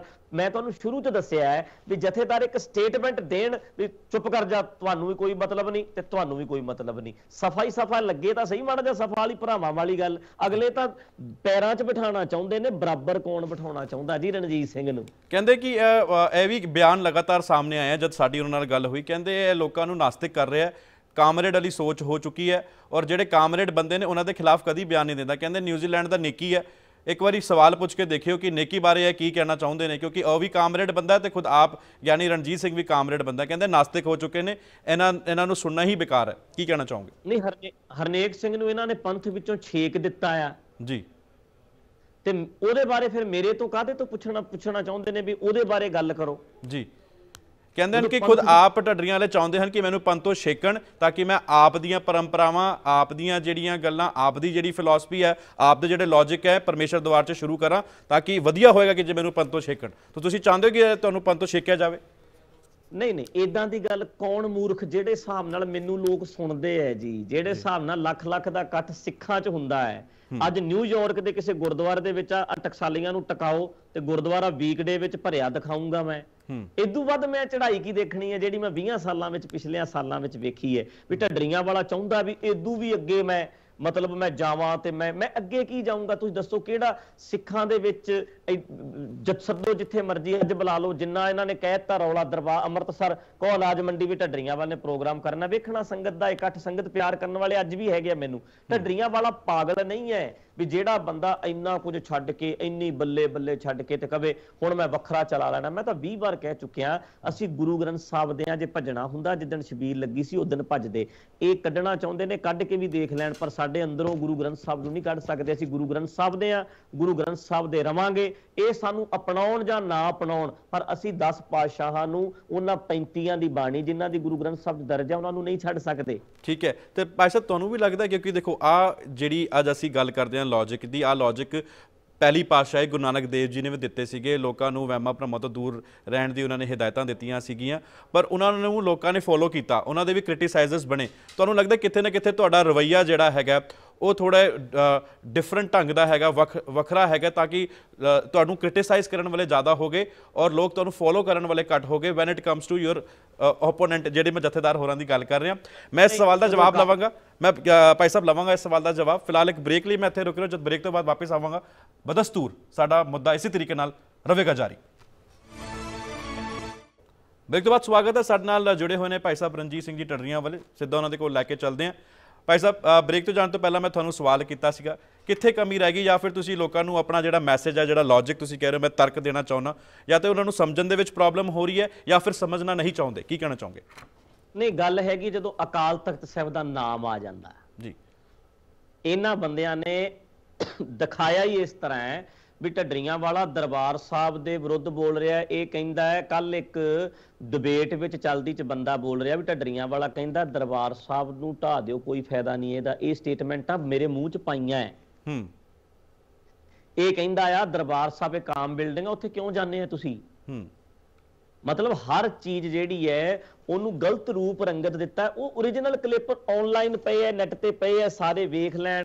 ਪੜ੍ਹ ਲੈਣ। ਇਹਨਾਂ ਦੀਆਂ ਬਣਾਈਆਂ ਗੱਲਾਂ ਵੀ ਇਹ ਐਦਾਂ ਬੋਲਦਾ ਇਹ ਐਦਾਂ ਬੋਲਦਾ ਤੇ ਕੀ ਪ੍ਰੋਬਲਮ ਹੈ ਉਹਨਾਂ ਨੂੰ ਤੁਹਾਡੇ ਨਾਲ? ਕਿਸ ਚੀਜ਼ ਦੀ ਪ੍ਰੋਬਲਮ ਹੈ? ਉਹ ਤਾਂ ਕਹਿੰਦੇ ਕਿ ਅਸੀਂ ਜਿਹੜੀਆਂ ਪਰੰਪਰਾਵਾਂ ਚੱਲਦੀਆਂ ਆ ਰਹੀਆਂ ਹਨ ਉਹਨਾਂ ਨੂੰ ਮੰਨਣ ਉਹ ਜਿਹੜੀਆਂ ਆਲਰੇਡੀਆਂ ਹੋਣ ਦੇ ਵਿੱਚ ਹੈਗੀਆਂ ਉਹਨਾਂ ਦਾ ਅਸੀਂ ਸਤਿਕਾਰ ਕਰੀਏ। ਕਿਉਂ ਵੱਖਰੀ ਵੱਖਰਾ ਲੌਜੀਕ ਨਵਾਂ ਤਰਕ ਨਵੇਂ ਸਿਧਾਂਤ ਢੱਡਰੀਆਂ ਵਾਲਾ ਲਿਆਉਣਾ ਚਾਹੁੰਦਾ ਹੈ? ਕਨਫਿਊਜ਼ਨ ਕ੍ਰੀਏਟ ਕਰ ਰਿਹਾ ਕੌਮ ਦੇ ਵਿੱਚ। ਸੋ ਇਹ ਜ਼ਰੂਰ ਮੈਂ ਜਾਣਨਾ ਚਾਹਾਂਗਾ। ਬਹੁਤ ਸਾਰੀ ਪੀੜ੍ਹੀ ਸਾਡੀ ਸਿੱਖ ਨੌਜਵਾਨ, ਸਿੰਘ ਜਨ- ਅਹ ਜੰਗ ਜਨਰੇਸ਼ਨ ਪੜ੍ਹ ਲਿਖ ਗਈ ਹੈ, ਤਰੱਕੀ ਕਰ ਗਈ ਹੈ। ਉਹ ਲੌਜੀਕ ਦੇ ਨਾਲ ਗੁਰਬਾਣੀ ਨੂੰ ਸਮਝਣਾ ਚਾਹੁੰਦੇ ਹੈ। ਗੁਰਬਾਣੀ ਹੈ ਹੀ ਇਸ ਕਰਕੇ ਸੀ, ਗੁਰੂ ਇਸ, ਇਹ ਵਿਚਾਰਧਾਰਾ ਗੁਰੂ ਨਾਨਕ ਦੀ ਚੱਲੀ ਹੋਈ ਇਸ ਕਰਕੇ ਸੀ ਕਿ ਇਹਦੇ ਵਿੱਚ ਤਰਕ ਸੀ, ਵਿਵੇਕ ਸੀ, ਹਰ ਚੀਜ਼ ਨੂੰ ਵਿਚਾਰਿਆ ਜਾਂਦਾ ਸੀ, ਫਿਰ ਅਪਣਾਇਆ ਜਾਂਦਾ ਸੀ। ਜੀ। ਅੱਖਾਂ ਬੰਦ ਕਰਕੇ ਭਰੋਸਾ ਕਰਨਾ ਬਲਾਈਂਡ ਫੇਥ ਕਰਨਾ ਸਿੱਖਾਂ ਦਾ ਮਸਲਾ ਨਹੀਂ। ਗੁਰੂ ਗ੍ਰੰਥ ਸਾਹਿਬ ਨੇ ਇੰਨੇ ਸਵਾਲ ਕੀਤੇ ਉਸ ਵੇਲੇ ਦੇ ਪੁਜਾਰੀ ਤੇ। ਇਹ ਕਹਿੰਦੇ ਤਰਕ ਨਾ ਕਰੋ। ਗੁਰੂ ਗ੍ਰੰਥ ਸਾਹਿਬ ਸ਼ੁਰੂ ਹੀ ਇੱਥੋਂ ਹੁੰਦੇ ਆ ਸੋਚੈ ਸੋਚ ਨਾ ਹੋਵੇ ਜੇ ਸੋਚੀ ਲੱਖ ਵਾਰ। ਚੁੱਪੈ ਚੁੱਪ ਨਾ ਹੋਵੇ ਜੇ ਲਾਏ ਰਹਾ ਲਿਵਤਾਰ। ਭੁੱਖਿਆਂ ਭੁੱਖ ਨਾ ਉਤਰੀ ਜੇ ਬੰਨਾ ਪੁਰੀਆਂ ਭਾਰ। ਇਹ ਤਿੰਨ ਫਿਰਕੇ ਜਿਹੜੇ ਉਸ ਵੇਲੇ ਚੱਲਦੇ ਸੀ ਉਹਨਾਂ ਤੇ ਤਰਕ ਕੀਤੀ ਗੁਰੂ ਨਾਨਕ ਨੇ ਸਵਾਲ ਕੀਤੇ। ਤੇ ਸਾਨੂੰ ਕਿਹਾ ਸੀ ਬਵੇਕੀ ਬਣੋ? ਮੇਰਾ ਵਿਰੋਧ ਕਰਨ ਇਹਨਾਂ ਦਾ ਕਾਰਨ ਇਹ ਹੈ ਵੀਰ ਜੀ ਕਿ ਜਿਹੜੀਆਂ ਗੱਲਾਂ ਮੈਂ ਕਰਦਾ, ਉਹ ਸਿੱਧੀਆਂ, ਸਪਸ਼ਟ ਪ੍ਰੈਕਟੀਕਲ ਲੌਜੀਕਲ ਹੁੰਦੀਆਂ ਨੇ ਔਰ ਹਰ ਬੰਦੇ ਦੀ ਜ਼ਿੰਦਗੀ ਦੇ ਵਿੱਚ ਅਪਲਾਈ ਹੁੰਦੀਆਂ ਨੇ। ਜਿਹੜਾ ਹੁਕਮਨਾਮਾ ਅਸੀਂ ਪੜ੍ਹਦੇ ਹਾਂ ਜਾਂ ਹੁਕਮਨਾਮਾ ਅਸੀਂ ਸੁਣਦੇ ਹਾਂ, ਤੇ ਜਿਹੜਾ, ਜਿਹੜੀ ਤੁਸੀਂ ਲੌਜੀਕ ਦੀ ਗੱਲ ਕਰ ਰਹੇ ਹੋ, ਕਹਿੰਦੇ ਅਸੀਂ ਵੀ ਉਹੀ ਸਮਝਾਉਣਾ ਚਾਹੁੰਦੇ ਹਾਂ, ਜਿਹੜੀਆਂ ਆਲਰੇਡੀਆਂ ਪਰੰਪਰਾਵਾਂ ਚੱਲ ਰਹੀਆਂ ਹਨ, ਅਸੀਂ ਵੀ ਗੁਰੂ ਨੂੰ ਕਹਿੰਦੇ ਹਾਂ ਕਿ ਇੱਥੋਂ ਦੀ ਗਿਆਨ ਲੈ ਕੇ ਜਾਓ। ਤੇ ਢੱਡਰੀਆਂ ਵਾਲੇ ਦੇ ਕੋਲ ਕਿਹੜਾ ਨਵਾਂ ਲੌਜੀਕ ਹੈ ਨਵੀਂ ਕਿਹੜੀ ਪ੍ਰੈਕਟੀਕਲ ਗੱਲ ਹੈ? ਮੈਂ ਉਹ ਪ੍ਰੈਕਟੀਕਲ ਜਾਨਣਾ ਚਾਹਾਂਗਾ ਲੌਜੀਕ ਜਾਨਣਾ ਚਾਹਾਂਗਾ। ਤੁਸੀਂ ਕਿਹੜੇ ਨਵੇਂ ਲੌਜੀਕ ਔਰ ਪ੍ਰੈਕਟੀਕਲ ਦੀ ਗੱਲ ਕਰ ਰਹੇ ਹੋ? ਤੁਸੀਂ ਇਹ ਕਹਿ ਰਹੇ ਹੋ ਕਿ ਰੱਬ ਨੂੰ ਨਾ ਮੰਨਿਓ ਇਹਨਾਂ ਵਹਿਮਾਂ ਬ੍ਰਹਮਾਂ 'ਚ ਨਾ ਜਾਓ ਗੁਰੂ ਘਰ 'ਚ ਗੋਲਕ 'ਚ ਜਿਹੜਾ ਹੈਗਾ ਦਾਨ ਨਾ ਕਰੋ। ਜਾਂ ਫਿਰ ਤੁਸੀਂ ਅਗਰ ਰਸਦ ਲੈ ਕੇ ਜਾ ਰਹੇ ਹੋ ਤਾਂ ਰਸਦ ਵੀ ਗੁਰੂ ਘਰ 'ਚ ਨਾ ਦਿਓ। ਉਹ ਸਭ ਕੁਝ ਬੇਕਾਰ ਹੈਗਾ। ਤੁਸੀਂ ਇਸ ਇਸ ਨੂੰ ਮੰਨਦੇ ਹੋ ਕਿ ਇਹ ਗੱਲਾਂ ਬੇਕਾਰ ਨੇ? ਨਹੀਂ ਨਹੀਂ ਇਦਾਂ ਦੀਆਂ ਸਟੇਟਮੈਂਟਾਂ ਮੇਰੀਆਂ ਹੈ ਹੀ ਕਿੱਥੇ ਹੈ ਮੈਂ ਇਦਾਂ ਦੀ ਗੱਲ ਕਿੱਥੇ ਕਰ ਰਿਹਾ? ਮਤਲਬ ਮੈਂ ਮੇਰੀ ਇੰਟਰਪ੍ਰੀਟੇਸ਼ਨ ਵੱਖਰੀ ਹੈ। ਮੈਂ ਕਹਿੰਦਾ ਪ੍ਰੈਕਟੀਕਲ ਸੋਚੋ ਗੁਰਬਾਣੀ ਦੇ ਵਿੱਚ ਜਿੱਥੇ ਗੁਰੂ ਸ਼ਬਦ ਆ ਰਿਹਾ ਉੱਥਾ ਮਕਸਦ ਗਿਆਨ ਨਾਲ ਜੁੜਨਾ ਹੈ। ਗੁਰੂ ਨਾਲ ਜੁੜਨਾ ਮਤਲਬ ਗਿਆਨ ਨਾਲ ਜੁੜਨਾ ਗੁਰੂ ਵਾਲੇ ਮੰਨਣਾ ਮਤਲਬ ਗਿਆਨਵਾਨ ਬੰਨਣਾ ਸਮਝਦਾਰ ਬਣਨਾ ਅਕਲ ਵਾਲੇ ਬਣਨਾ। ਸਾਡੀ ਗੱਲ ਸਿਰਫ ਇੰਨੀ ਹੈ। ਉਹ ਇਹਨਾਂ ਦਾ ਮੈਂ ਤੁਹਾਨੂੰ ਫਿਰ ਗੱਲ ਪੂਰੀ ਇਹ ਕਰਨ ਲੱਗਿਆ ਸੀ। ਇਹਨਾਂ ਦੀ ਪ੍ਰੋਬਲਮ ਮੇਰੇ ਨਾਲ ਇਹ ਹੈ। ਮੇਰੇ ਸਮਝਣ ਦਾ ਸਮਝਾਉਣ ਦਾ ਤਰੀਕਾ ਅੱਜ ਦੇ ਹਿਸਾਬ ਨਾਲ ਹੈ। ਮੈਂ ਆਲੇ ਦੁਆਲੇ ਸਮਾਜ ਵਿਕਸਿਤ ਸਮਾਜਾਂ ਨੂੰ ਵੇਖਿਆ ਦੁਨੀਆ ਫਿਰਿਆ ਉਹਨਾਂ ਨੂੰ ਵੇਖ ਕੇ ਵੀ ਉਹਨਾਂ ਦੇ ਬੱਚਿਆਂ 'ਚ ਤੇ ਸਾਡੇ ਬੱਚਿਆਂ 'ਚ ਕੀ ਫ਼ਰਕ ਹੈ? ਅਸੀਂ ਆਪਣੇ ਬੱਚਿਆਂ ਨੂੰ ਧਰਮ ਦੇ ਕੇ ਵੀ ਦੇਖ ਲਿਆ ਸਾਡੇ ਬੱਚੇ ਫਿਰ ਵੀ ਝੂਠ ਬੋਲਦੇ ਐ ਅਮਰੀਕਾ ਕੈਨੇਡਾ ਦੇ ਵਿੱਚ ਨਿਆਣੇ ਸੱਚ ਕਿਉਂ ਬੋਲੀ ਜਾਂਦੇ ਆ? ਉਹ ਤਾਂ ਯਾਰ ਧਰਮੀ ਵੀ ਨਹੀਂ ਬਹੁਤ ਲੋਕ। ਹੂੰ। ਪਰ ਬੱਚਾ ਸੱਚ ਬੋਲ ਦਿੰਦਾ ਜੋ ਉਹਦੇ ਮੂੰਹ 'ਚ ਹੈ ਉਹ ਅੰਦਰ ਅੰਦਰ ਹੈ ਉਹੀ ਬਾਹਰ ਹੈ। ਜੇ ਨਹੀਂ ਡੈਡੀ ਨਹੀਂ ਘਰ ਤਾਂ ਨਹੀਂ ਉਹਦੇ ਅੰਦਰ ਸੱਚ ਹੈ। ਇਹ ਕਾਰਨ ਕੀ ਬਣਿਆ? ਉੱਥੇ ਫਿਰ ਵੇਖਿਆ ਵੀ ਇਹ ਪ੍ਰੈਕਟੀਕਲ ਸੋਚਦੇ ਐ ਇਹਨਾਂ ਦੀ ਕਰੈਕਟਰ ਦੀ ਘਾਟ ਤੇ ਇਦਾਂ ਘੜੀ ਜਾਂਦੀ ਹੈ। ਉਹਨਾਂ ਗੱਲਾਂ ਨੂੰ ਮੈਂ ਵੇਖਦਾ ਉਧਰੋਂ ਮੈਂ ਗੁਰਬਾਣੀ ਨੂੰ ਵੇਖਦਾ। ਫਿਰ ਮੈਨੂੰ ਲੱਗਦਾ ਵੀ ਨਹੀਂ ਗੁਰਬਾਣੀ ਜਿਹੜੀ ਹੈ ਅਸ- ਅਸੀਂ ਉਹਦੀ ਵਿਆਖਿਆ ਇੱਥੇ ਦਾ ਸਿਸਟਮ ਪਰੰਪਰਾਵਾਦੀ ਹਿਸਾਬ ਨਾਲ ਕਰ ਲਿਆ। ਅਸੀਂ ਉਹਨੂੰ ਨਵੇਂ ਤਰੀਕੇ ਦੇ ਹਿਸਾਬ ਨਾਲ ਅੱਜ ਦੇ ਸਮਾਜ ਨਾਲ ਜੋੜ ਕੇ ਮੈਂ ਹੁਣ ਸਟੇਜਾਂ ਤੇ ਕਹਿ ਰਿਹਾ ਬੱਚਿਓ ਆਈਲੈਟਸ ਕਰੋ ਯਾਰ ਵੀਰੋ ਪੜੋ ਅੱਗੇ ਵੱਡੇ ਵੱਡੇ ਅਹੁਦਿਆਂ ਤੇ ਜਾਓ। ਇਦਾਂ ਦੀਆਂ ਗੱਲਾਂ ਜਿਹੜੀਆਂ ਨੇ ਹਰ ਬੱਚੇ ਨੂੰ ਨੌਜਵਾਨਾਂ ਨੂੰ ਪਸੰਦ ਆਉਂਦੀਆਂ ਨੇ ਸਿਹਤ ਦਾ ਧਿਆਨ ਰੱਖੋ ਆਪਣੇ ਕਰਮ ਨੂੰ ਧਰਮ ਬਣਾ ਲਓ। ਜਦੋਂ ਕੰਮ ਕਰਦੇ ਹੋ, ਰੀਝ ਨਾਲ ਕਰੋ। ਤੁਹਾਡਾ ਕਰਮ ਹੀ ਧਰਮ ਹੈ। ਗੁਰੂ ਨਾਨਕ ਨੇ ਕਿਹਾ ਸੀ ਕਿ ਧਰਮ ਨੂੰ ਖੱਤਰੀਆਂ ਤਾਂ ਧਰਮ ਛੋੜਿਆ, ਮਲੇਸ਼ ਭਾਖਿਆ ਗਹੀ। ਜੇ ਗੁਰੂ ਨਾਨਕ ਨੂੰ ਪੁੱਛੀਏ, ਮਹਾਰਾਜ, ਧਰਮ ਕੌਣ? ਧਰਮ ਕੀ ਹੈ? ਮਹਾਰਾਜ ਕਹਿੰਦੇ, ਹਰ ਬੰਦੇ ਦਾ ਕਰਮ ਉਹਦਾ ਧਰਮ ਹੈ। ਜਿਹੜਾ ਕੰਮ ਕਰਦਾ, ਇਮਾਨਦਾਰੀ ਨਾਲ ਕਰੇ, ਦਿਲੋਂ ਕਰੇ। ਇਹ ਇੰਟਰਪ੍ਰੀਟੇਸ਼ਨ ਮੇਰੀ ਹਰ ਬੰਦੇ ਨੂੰ, ਜਿਹੜਾ ਬੰਦਾ ਮੈਨੂੰ ਬੈਠ ਕੇ ਸੁਣਦਾ ਹੈ, ਉਹਨੂੰ ਚੰਗੀ ਲੱਗਦੀ ਹੈ। ਇਸ ਗੱਲ ਦੀ ਇਹਨਾਂ ਨੂੰ ਪ੍ਰੋਬਲਮ ਹੈ, ਕਿਉਂਕਿ ਇਹ ਹਮੇਸ਼ਾ ਜੋ ਲਿਖਿਆ ਹੈ, ਪੁਰਾਣਾ ਉਹ ਪੜ੍ਹਦੇ ਐ ਉਹਨੂੰ ਸੁਣਦੇ ਐ ਉਹ ਸੁਣਾ ਦਿੰਦੇ ਐ। ਚਲੋ ਹੁਣ ਤੁਸੀਂ ਤੁਸੀਂ ਕਿਹਾ ਕਿ ਮੈਂ ਇਹਨਾਂ ਦੇ ਕੋਲ ਜਾਣਾ ਨਹੀਂ ਮੈਂ ਇਹਨਾਂ ਦੇ ਕੋਲ ਬੈਠਣਾ ਨਹੀਂ ਮੈਂ ਅਕਾਲ ਤਖਤ ਸਾਹਿਬ ਨੂੰ ਮੰਨਦਾ ਅਕਾਲ ਤਖਤ ਸਾਹਿਬ ਦੇ ਜਥੇਦਾਰਾਂ ਨੂੰ ਨਹੀਂ ਮੰਨਦਾ। ਪ੍ਰੋਬਲਮ ਸੋਲਵ ਕਿਵੇਂ ਹੋਏਗੀ ਭਾਈ ਸਾਹਿਬ? ਜੇ ਤੁਹਾਨੂੰ ਪੰਥ ਤੋਂ ਛੇਕ ਦਿੰਦੇ ਆ ਤੁਸੀਂ ਗਏ ਨਹੀਂ ਤੁਸੀਂ ਆਪਣੀ ਮਨਮਾਨੀ ਕੀਤੀ ਕਿ ਨਹੀਂ ਮੈਂ ਸੋਸ਼ਲ ਮੀਡੀਆ ਦੇ ਰਾਹੀਂ ਆਪਣੀ ਗੱਲਾਂ ਕਵਾਂਗਾ ਮੈਂ ਤੁਹਾਡੇ ਕੋਲ ਨਹੀਂ ਆਉਂਦਾ। ਤੇ ਫਿਰ ਆਪਾਂ ਕਿੱਥੇ ਕਿਸ ਥਾਂ ਤੇ ਬੈਠੇ? ਤੁਸੀਂ ਲੌਜੀਕ ਦੀ ਗੱਲ ਕਰ ਰਹੇ ਹੋ। ਲੌਜੀਕ ਦੇ ਵਿੱਚ ਤਾਂ ਐ ਵੀ ਕਿਹਾ ਜਾਂਦਾ ਕਿ ਅਸੀਂ ਮਾਨਸ ਕੀ ਜਾਤ ਸਭਾ ਇੱਕ ਹੈ ਬੋ ਇਕੱਠੇ ਹੋ ਕੇ ਚੱਲੀਏ ਸਾਰੇ। ਅਵਲ ਅੱਲਾ ਨੂਰ ਪਾਇਆ ਕੁਦਰਤ ਕੇ ਸਭ ਬੰਦੇ ਤੁਸੀਂ ਆਪਣੀ ਗੱਲ ਕਹੀ। ਤਾਂ ਫਿਰ ਆਪਾਂ ਕਿਸ ਕੀ ਮੈਸੇਜ ਦੇ ਰਹੇ ਹਾਂ? ਜਦ ਅਸੀਂ ਪ੍ਰੋਬਲਮ ਹੀ ਕ੍ਰੀਏਟ ਕਰ ਰਹੇ ਹਾਂ ਇੱਕ ਨਿਸ਼ਾਨ ਸਾਹਿਬ ਦੇ ਥੱਲੇ ਆਪਾਂ ਖਲੋ ਹੀ ਨਹੀਂ ਰਹੇ। So what message we are delivering ਭਾਵੇਂ ਤੁਸੀਂ ਇੰਡੀਆ ਦੀ ਬੱਚਿਆਂ ਦੀ ਨਿਆਣਿਆਂ ਦੀ ਗੱਲ ਕਰ ਲਓ ਭਾਵੇਂ ਯੂਐਸ ਕੈਨੇਡਾ ਦੀ ਗੱਲ ਕਰ ਲਿਓ। ਇਹੋ ਹੀ ਇਹੋ ਹੀ ਸਵਾਲ ਹੈ ਜੀ ਮੇਰਾ ਇਹੀ ਸਵਾਲ ਹੈ ਮੈਂ ਸੋ- ਸੋ ਜਰਾ ਕੁ ਸੋਚੋ ਵੀ ਗੁਰੂ ਨਾਨਕ ਨੂੰ ਪੁੱਛੀਏ ਵੀ ਅਵਲ ਅੱਲਾ ਨੂਰ ਪਾਇਆ ਤੁਸੀਂ ਇੱਕ ਹੋਵੋ ਆ ਜੋਗੀਆਂ ਨਾਲ ਤੁਸੀਂ ਕਹੀ ਜਾਂਦੇ ਆ ਕੂ- ਕਾਦੀ ਕੂੜ ਬੋਲ ਮਲ ਖਾਏ ਬਾਹਮਣ ਨਾਵੇ ਜੀਆਂ ਘਾਏ ਜੋਗੀ ਜੁਗਤ ਨਾ ਜਾਣੈ ਅੰਧ ਤੀਨੇ ਉਜਾੜੇ ਕਾ ਬੰਦ। ਜੀ। ਕਿ ਸਮਾਜ ਨੂੰ ਉਜਾੜਨ ਵਾਲੇ ਆ ਬੰਦੇ ਆ ਜਿਹੜੇ ਲੋਕੀ ਲੋਕਾਂ ਨੂੰ ਸੱਚ ਨਹੀਂ ਦੱਸਦੇ। ਉਹ ਸੱਚ ਲੁਕੋ ਕੇ ਰੱਖਦੇ ਆ ਲੋਕਾਂ ਨੂੰ ਕਮਲਾ ਕੀਤਾ ਬੁੱਧੂ ਬਣਾਇਆ ਗੁਲਾਮ ਬਣਾ ਕੇ ਰੱਖਿਆ ਇਹ ਜੋਗੀ ਕਾਦੀ ਕਾਜੀ ਜੋਗੀ ਤੇ ਉਸ ਵੇਲੇ ਦਾ ਬ੍ਰਾਹਮਣ ਇੱਕ ਮਿੰਟ ਲਈ ਮੰਨ ਲੈਣੇ ਤੁਹਾਡੀ ਗੱਲ। ਇੱਕ ਮਿੰਟ ਲਈ ਇੱਕ ਮਿੰਟ ਲਈ ਮੰਨ ਲੈਣੇ ਤੁਹਾਡੀ ਗੱਲ ਨੂੰ। ਪਰ ਆਪਾਂ ਪ੍ਰੋਬਲਮ ਨੂੰ ਸੋਲਵ ਕਿਵੇਂ ਕਰਾਂਗੇ? ਮੈਂ ਉਹ ਤੁਹਾਡੇ ਤੋਂ ਸਵਾਲ ਪੁੱਛ ਰਿਹਾ। ਪ੍ਰੋਬਲਮ ਸੋਲਵ ਵੀ ਤਾਂ ਕਰਨੀ ਹੈ ਨਾ। ਕਿਵੇਂ ਕਰਾਂਗੇ? ਤੁਸੀਂ ਕਹਿੰਦੇ ਮੈਂ ਜਾਂਦਾ ਨਹੀਂ। ਮੈਂ ਸੋਸ਼ਲ ਮੀਡੀਆ ਦੇ ਰਾਹੀਂ ਆਪਣੀ ਗੱਲਾਂ ਕਹੂੰਗਾ। ਪਰ ਆਪਾਂ ਖੜੇ ਤਾਂ ਉੱਥੇ ਹੀ ਆ। ਆਪਾਂ ਉੱਥੇ ਦੇ ਉੱਥੇ ਹੀ ਖਲੋਤੇ ਆ। ਔਰ ਆਪਾਂ ਲੋਕਾਂ ਦੇ ਵਿੱਚ ਸੰਗਤ ਦੇ ਵਿੱਚ ਉਦਾਹਰਨ ਆਪਾਂ ਮਤਭੇਦ ਪੈਦਾ ਕਰ ਰਹੇ ਆ। ਇੱਕ ਗੁੱਟ ਤੁਹਾਡਾ ਹੋ ਉਦਾਹਰਨ- ਗਿਆ ਇੱਕ ਗੁੱਟ ਉਹਨਾਂ ਨੂੰ ਮੰਨਣ ਵਾਲਾ ਹੋ ਗਿਆ। ਮੈਂ ਮੈਂ ਹਰਕੀਰਤ ਜੀ ਉਦਾਹਰਣ ਇਹੋ ਹੀ ਦੇ ਰਿਹਾ ਸੀ ਕਿ ਇਹੀ ਗੱਲ ਜੇ ਆਪਾਂ ਗੁਰੂ ਨਾਨਕ ਪਾਤਸ਼ਾਹ ਜਾਂ ਗੁਰੂ ਅਰਜਨ ਦੇਵ ਜੀ ਨੂੰ ਕਹੀਏ ਵੀ ਮਹਾਰਾਜ ਇਧਰਲੇ ਪਾਸੇ ਜਿਹੜਾ ਪੁਜਾਰੀ ਤਬਕਾ ਆ, ਇਹ ਸਰਕਾਰ ਨਾਲ ਰਲਦਾ ਆ, ਸਰਕਾਰ ਨਾਲ ਰਲ ਕੇ ਤੁਹਾਨੂੰ ਤਵੀ ਤੇ ਬਿਠਾ ਦੂਗਾ, ਸਾਰੇ ਇਕੱਠੇ ਹੋ ਕੇ ਬੈਠੀਏ, ਉਹਨਾਂ ਨੇ ਆਪਣੀ ਜ਼ਿੰਦਗੀ ਦੇ ਵਿੱਚ ਸਟੈਂਡ ਰੱਖਿਆ। ਹੂੰ। ਅਸੀਂ ਉਹਨਾਂ ਦੇ ਵਾਰਸ ਆ ਉਹਨਾਂ ਦੇ ਬੱਚੇ ਆ। ਸਾਨੂੰ ਜਦੋਂ ਲੱਗਦਾ ਹੈ ਵੀ ਇਹ ਬੰਦੇ ਗੁਲਾਮ ਬਣਾ ਕੇ ਰੱਖਣਾ ਚਾਹੁੰਦੇ ਨੇ, ਇਹ ਜਾਣ ਬੁੱਝ ਕੇ ਇਦਾਂ ਦਾ ਕੁਝ ਕਰਨਾ ਚਾਹੁੰਦੇ ਨੇ, ਇਹ ਸਾਰਾ ਦਾ ਸਾਰਾ ਢਾਂਚਾ ਬਣਾਇਆ ਗਿਆ ਆ ਤੇ ਅਸੀਂ ਆਪਣਾ ਸਟੈਂਡ ਰੱਖੀਏ ਜੇ ਸਾਨੂੰ ਉਸ ਵੇਲੇ ਤਵੀ ਤੇ ਬਿਠਾਇਆ ਗਿਆ, ਨੁਕਸਾਨ ਹੋਇਆ, ਸਾਡਾ ਕਰ ਦੇਣਗੇ, ਮਤਲਬ ਕੱਢ ਦਿਓ ਪੰਥ ਚੋਂ ਛੇਕ ਦਿੱਤਾ ਜੀ ਬੰਦੇ ਨੂੰ ਨਾ ਸੁਣੋ। ਹੂੰ। ਜੇ ਤੁਹਾਨੂੰ ਛੇਕ ਦਿੰਦੇ ਹੁਣ ਪੰਥ ਤੋਂ, ਤਾਂ ਕੀ ਕਰੋਗੇ? ਕਰਨਾ ਕੀ ਹੈ ਜੀ? ਮੈਂ ਗੁਰਬਾਣੀ ਦਾ ਪ੍ਰਚਾਰ ਕਰਦਾ ਗੁਰੂ ਗ੍ਰੰਥ ਸਾਹਿਬ ਦਾ ਸਿੱਖ ਰਹੂੰਗਾ। ਮੈਨੂੰ ਗੁਰੂ ਗ੍ਰੰਥ ਸਾਹਿਬ ਨੇ ਥੋੜਾ ਕੱਢਿਆ ਗੁਰੂ ਗੋਬਿੰਦ ਸਿੰਘ ਨੇ ਸਟੇਟਮੈਂਟ ਦਿੱਤੀ ਹੈ। ਜਾਂ ਗੁਰੂ ਗ੍ਰੰਥ ਸਾਹਿਬ 'ਚ ਕਿਤੇ ਲਿਖਿਆ ਵੀ ਢੱਡਰੀਆਂ ਵਾਲਾ ਇੱਕ ਪੈਦਾ ਹੋਊਗਾ ਉਹਨੂੰ ਛੇਕਿਆ ਜਾਣਾ। ਮੈਨੂੰ ਗੁਰੂ ਗ੍ਰੰਥ ਸਾਹਿਬ ਦਾ ਪਿਆਰ ਹੈ ਗੁਰੂ ਗ੍ਰੰਥ ਸਾਹਿਬ ਦਾ ਸਿੱਖਾਂ ਰਹੂੰਗਾ। ਇਹਨਾਂ ਦੀਆਂ ਨਜ਼ਰਾਂ ਵਿੱਚ ਨਹੀਂ ਸਿੱਖ ਤੇ ਨਾ ਸਹੀ। ਤੇ ਤੁਸੀਂ ਮਤਲਬ ਗੱਲ ਸੋਲਵ ਕਰਨ ਦੀ ਬਿਲਕੁਲ ਵੀ ਜਿਹੜੀ ਹੈਗੀ ਹੈ, ਕੋਸ਼ਿਸ਼ ਨਹੀਂ ਕਰੋਗੇ ਜਥੇਦਾਰ ਦੇ ਕੋਲ ਜਾਂ ਉਹਨਾਂ ਦੇ ਨਾਲ ਫੋਨ ਤੇ ਰਾਬਤਾ ਜਾਂ ਫਿਰ ਤੁਸੀਂ ਕੋਈ ਹੋਰ ਮਸਲਾ ਕੱਢੋ ਜਾਂ ਫਿਰ ਕੋਈ ਹੋਰ ਯੂ نو ਪ੍ਰੋਬਲਮ ਨੂੰ ਆਪਾਂ ਰਿਜ਼ੋਲਵ ਕਰਨ ਦੇ ਲਈ ਇੰਟੈਲੈਕਚੁਅਲਸ ਨੂੰ ਬਿਠਾਈਏ। ਇੱਕ ਵਧੀਆ ਜੀ ਤਰੀਕੇ ਨਾਲ ਮੀਟਿੰਗ ਕਰੀਏ ਤਾਂ ਕਿ ਇਹ ਹੋਏ ਕਿ ਨਹੀਂ ਰਣਜੀਤ ਸਿੰਘ ਢੱਡਰੀਆਂ ਵਾਲੇ ਵੀ ਬਕਾਇਦਾ ਉੱਥੇ ਮੌਜੂਦ ਸੀਗੇ ਜਥੇਦਾਰ ਵੀ ਮੌਜੂਦ ਸੀਗੇ ਤਾਂ ਕਿ ਸੰਗਤ ਨੂੰ ਇੱਕ ਪੋਜ਼ਿਟਿਵ ਮੈਸੇਜ ਜਾਏ ਕਿ ਸਾਡੇ ਗੁੱਟ ਨਹੀਂ ਹੈਗੇ। ਸੰਪਰਦਾਵਾਂ ਪਹਿਲਾਂ ਹੀ ਹੈਗੀਆਂ ਡੇਰਾਵਾਦ ਪਹਿਲਾਂ ਹੀ ਪੰਜਾਬ ਦਾ ਘਾਣ ਕਰ ਰਿਹਾ ਡੇਰਾਵਾਦ ਨੇ ਪਹਿਲਾਂ ਹੀ ਸਿੱਖ ਕੌਮ ਨੂੰ ਡਿਵਾਈਡ ਕਰਕੇ ਰੱਖਤਾ। ਇਹ ਤਾਂ ਉਹੀ ਵਾਲੀ ਪਾਲਿਸੀ ਹੋਗੀ ਨਾ ਅਸੀਂ ਤਾਂ ਫਿਰ ਕਦੀ ਇੱਕ ਅੰਬ੍ਰੇਲਾ ਥੱਲੇ ਭਾਈ ਸਾਹਿਬ ਖੜੇ ਹੀ ਨਹੀਂ ਹੋ ਪਾਵਾਂਗੇ। ਅਸੀਂ ਤਾਂ ਅੱਜ ਵੀ ਫਿਰ ਵੱਖਾਂ ਤੇ ਵੱਖਰੇ ਹੀ ਰਵਾਂਗੇ। ਫਿਰ ਆਪਾਂ ਸਿੱਖ ਕੌਮ ਨਾ ਕਹੀਏ ਫਿਰ ਆਪਾਂ ਕਹੀਏ ਸਿੱਖ ਕੌਮ ਦੇ ਵਿੱਚ ਵੱਖ-ਵੱਖ ਸੰਪਰਦਾਵਾਂ। ਇੱਕ ਗੁੱਟ ਹੋ ਗਿਆ ਭਾਈ ਸਾਹਿਬ ਰਣਜੀਤ ਸਿੰਘ ਨੂੰ ਮੰਨਣ ਵਾਲਾ ਇੱਕ ਅਕਾਲ ਤਖਤ ਨੂੰ ਮੰਨਣ ਵਾਲਾ। ਵੀਰ ਜੀ ਮੇਰੀ ਗੱਲ ਸੁਣਿਓ। ਜੀ। ਇੱਥੇ ਬੱਕਰੇ ਵੱਡੇ ਗਏ ਕੌਮ ਨਹੀਂ ਕੌਮ ਨਹੀਂ ਅੱਡ ਅੱਡ ਹੋਈ ਉਹਨੂੰ ਪ੍ਰਵਾਨ ਕਰਦੇ ਆ ਵੀ ਇੱਕ ਬੱਕਰੇ ਵੱਢਣੇ ਨੇ ਵੱਢ ਲਓ ਜੋਤਾਂ ਲਾਣੀਆਂ ਨੇ ਲਾ ਲਓ। ਇੱਥੇ ਆਪੋ ਆਪਣੀਆਂ ਮਰਿਆਦਾਵਾਂ 10 ਤਰ੍ਹਾਂ ਦੇ ਅੰਮ੍ਰਿਤ ਸਿੱਖ ਕੌਮ ਵਿੱਚ ਛਕਾਏ ਜਾਂਦੇ ਐ। ਹੂੰ। 10 ਤਰ੍ਹਾਂ ਦੀਆਂ ਮਰਿਆਦਾਵਾਂ ਆ ਠੀਕ ਹੈ, ਫਿਰ ਤੁਸੀਂ- ਫਿਰ ਮਿੰਟ ਫਿਰ ਮੇਰੀ ਗੱਲ ਤੁਸੀਂ ਅਗਰ ਅਗਰ ਠੀਕ। ਕਰਨਾ ਚਾਹੁੰਦੇ ਹੋ ਤਾਂ ਐਸਜੀਪੀਸੀ ਦੀ ਚੋਣਾਂ ਲੜ ਲਓ।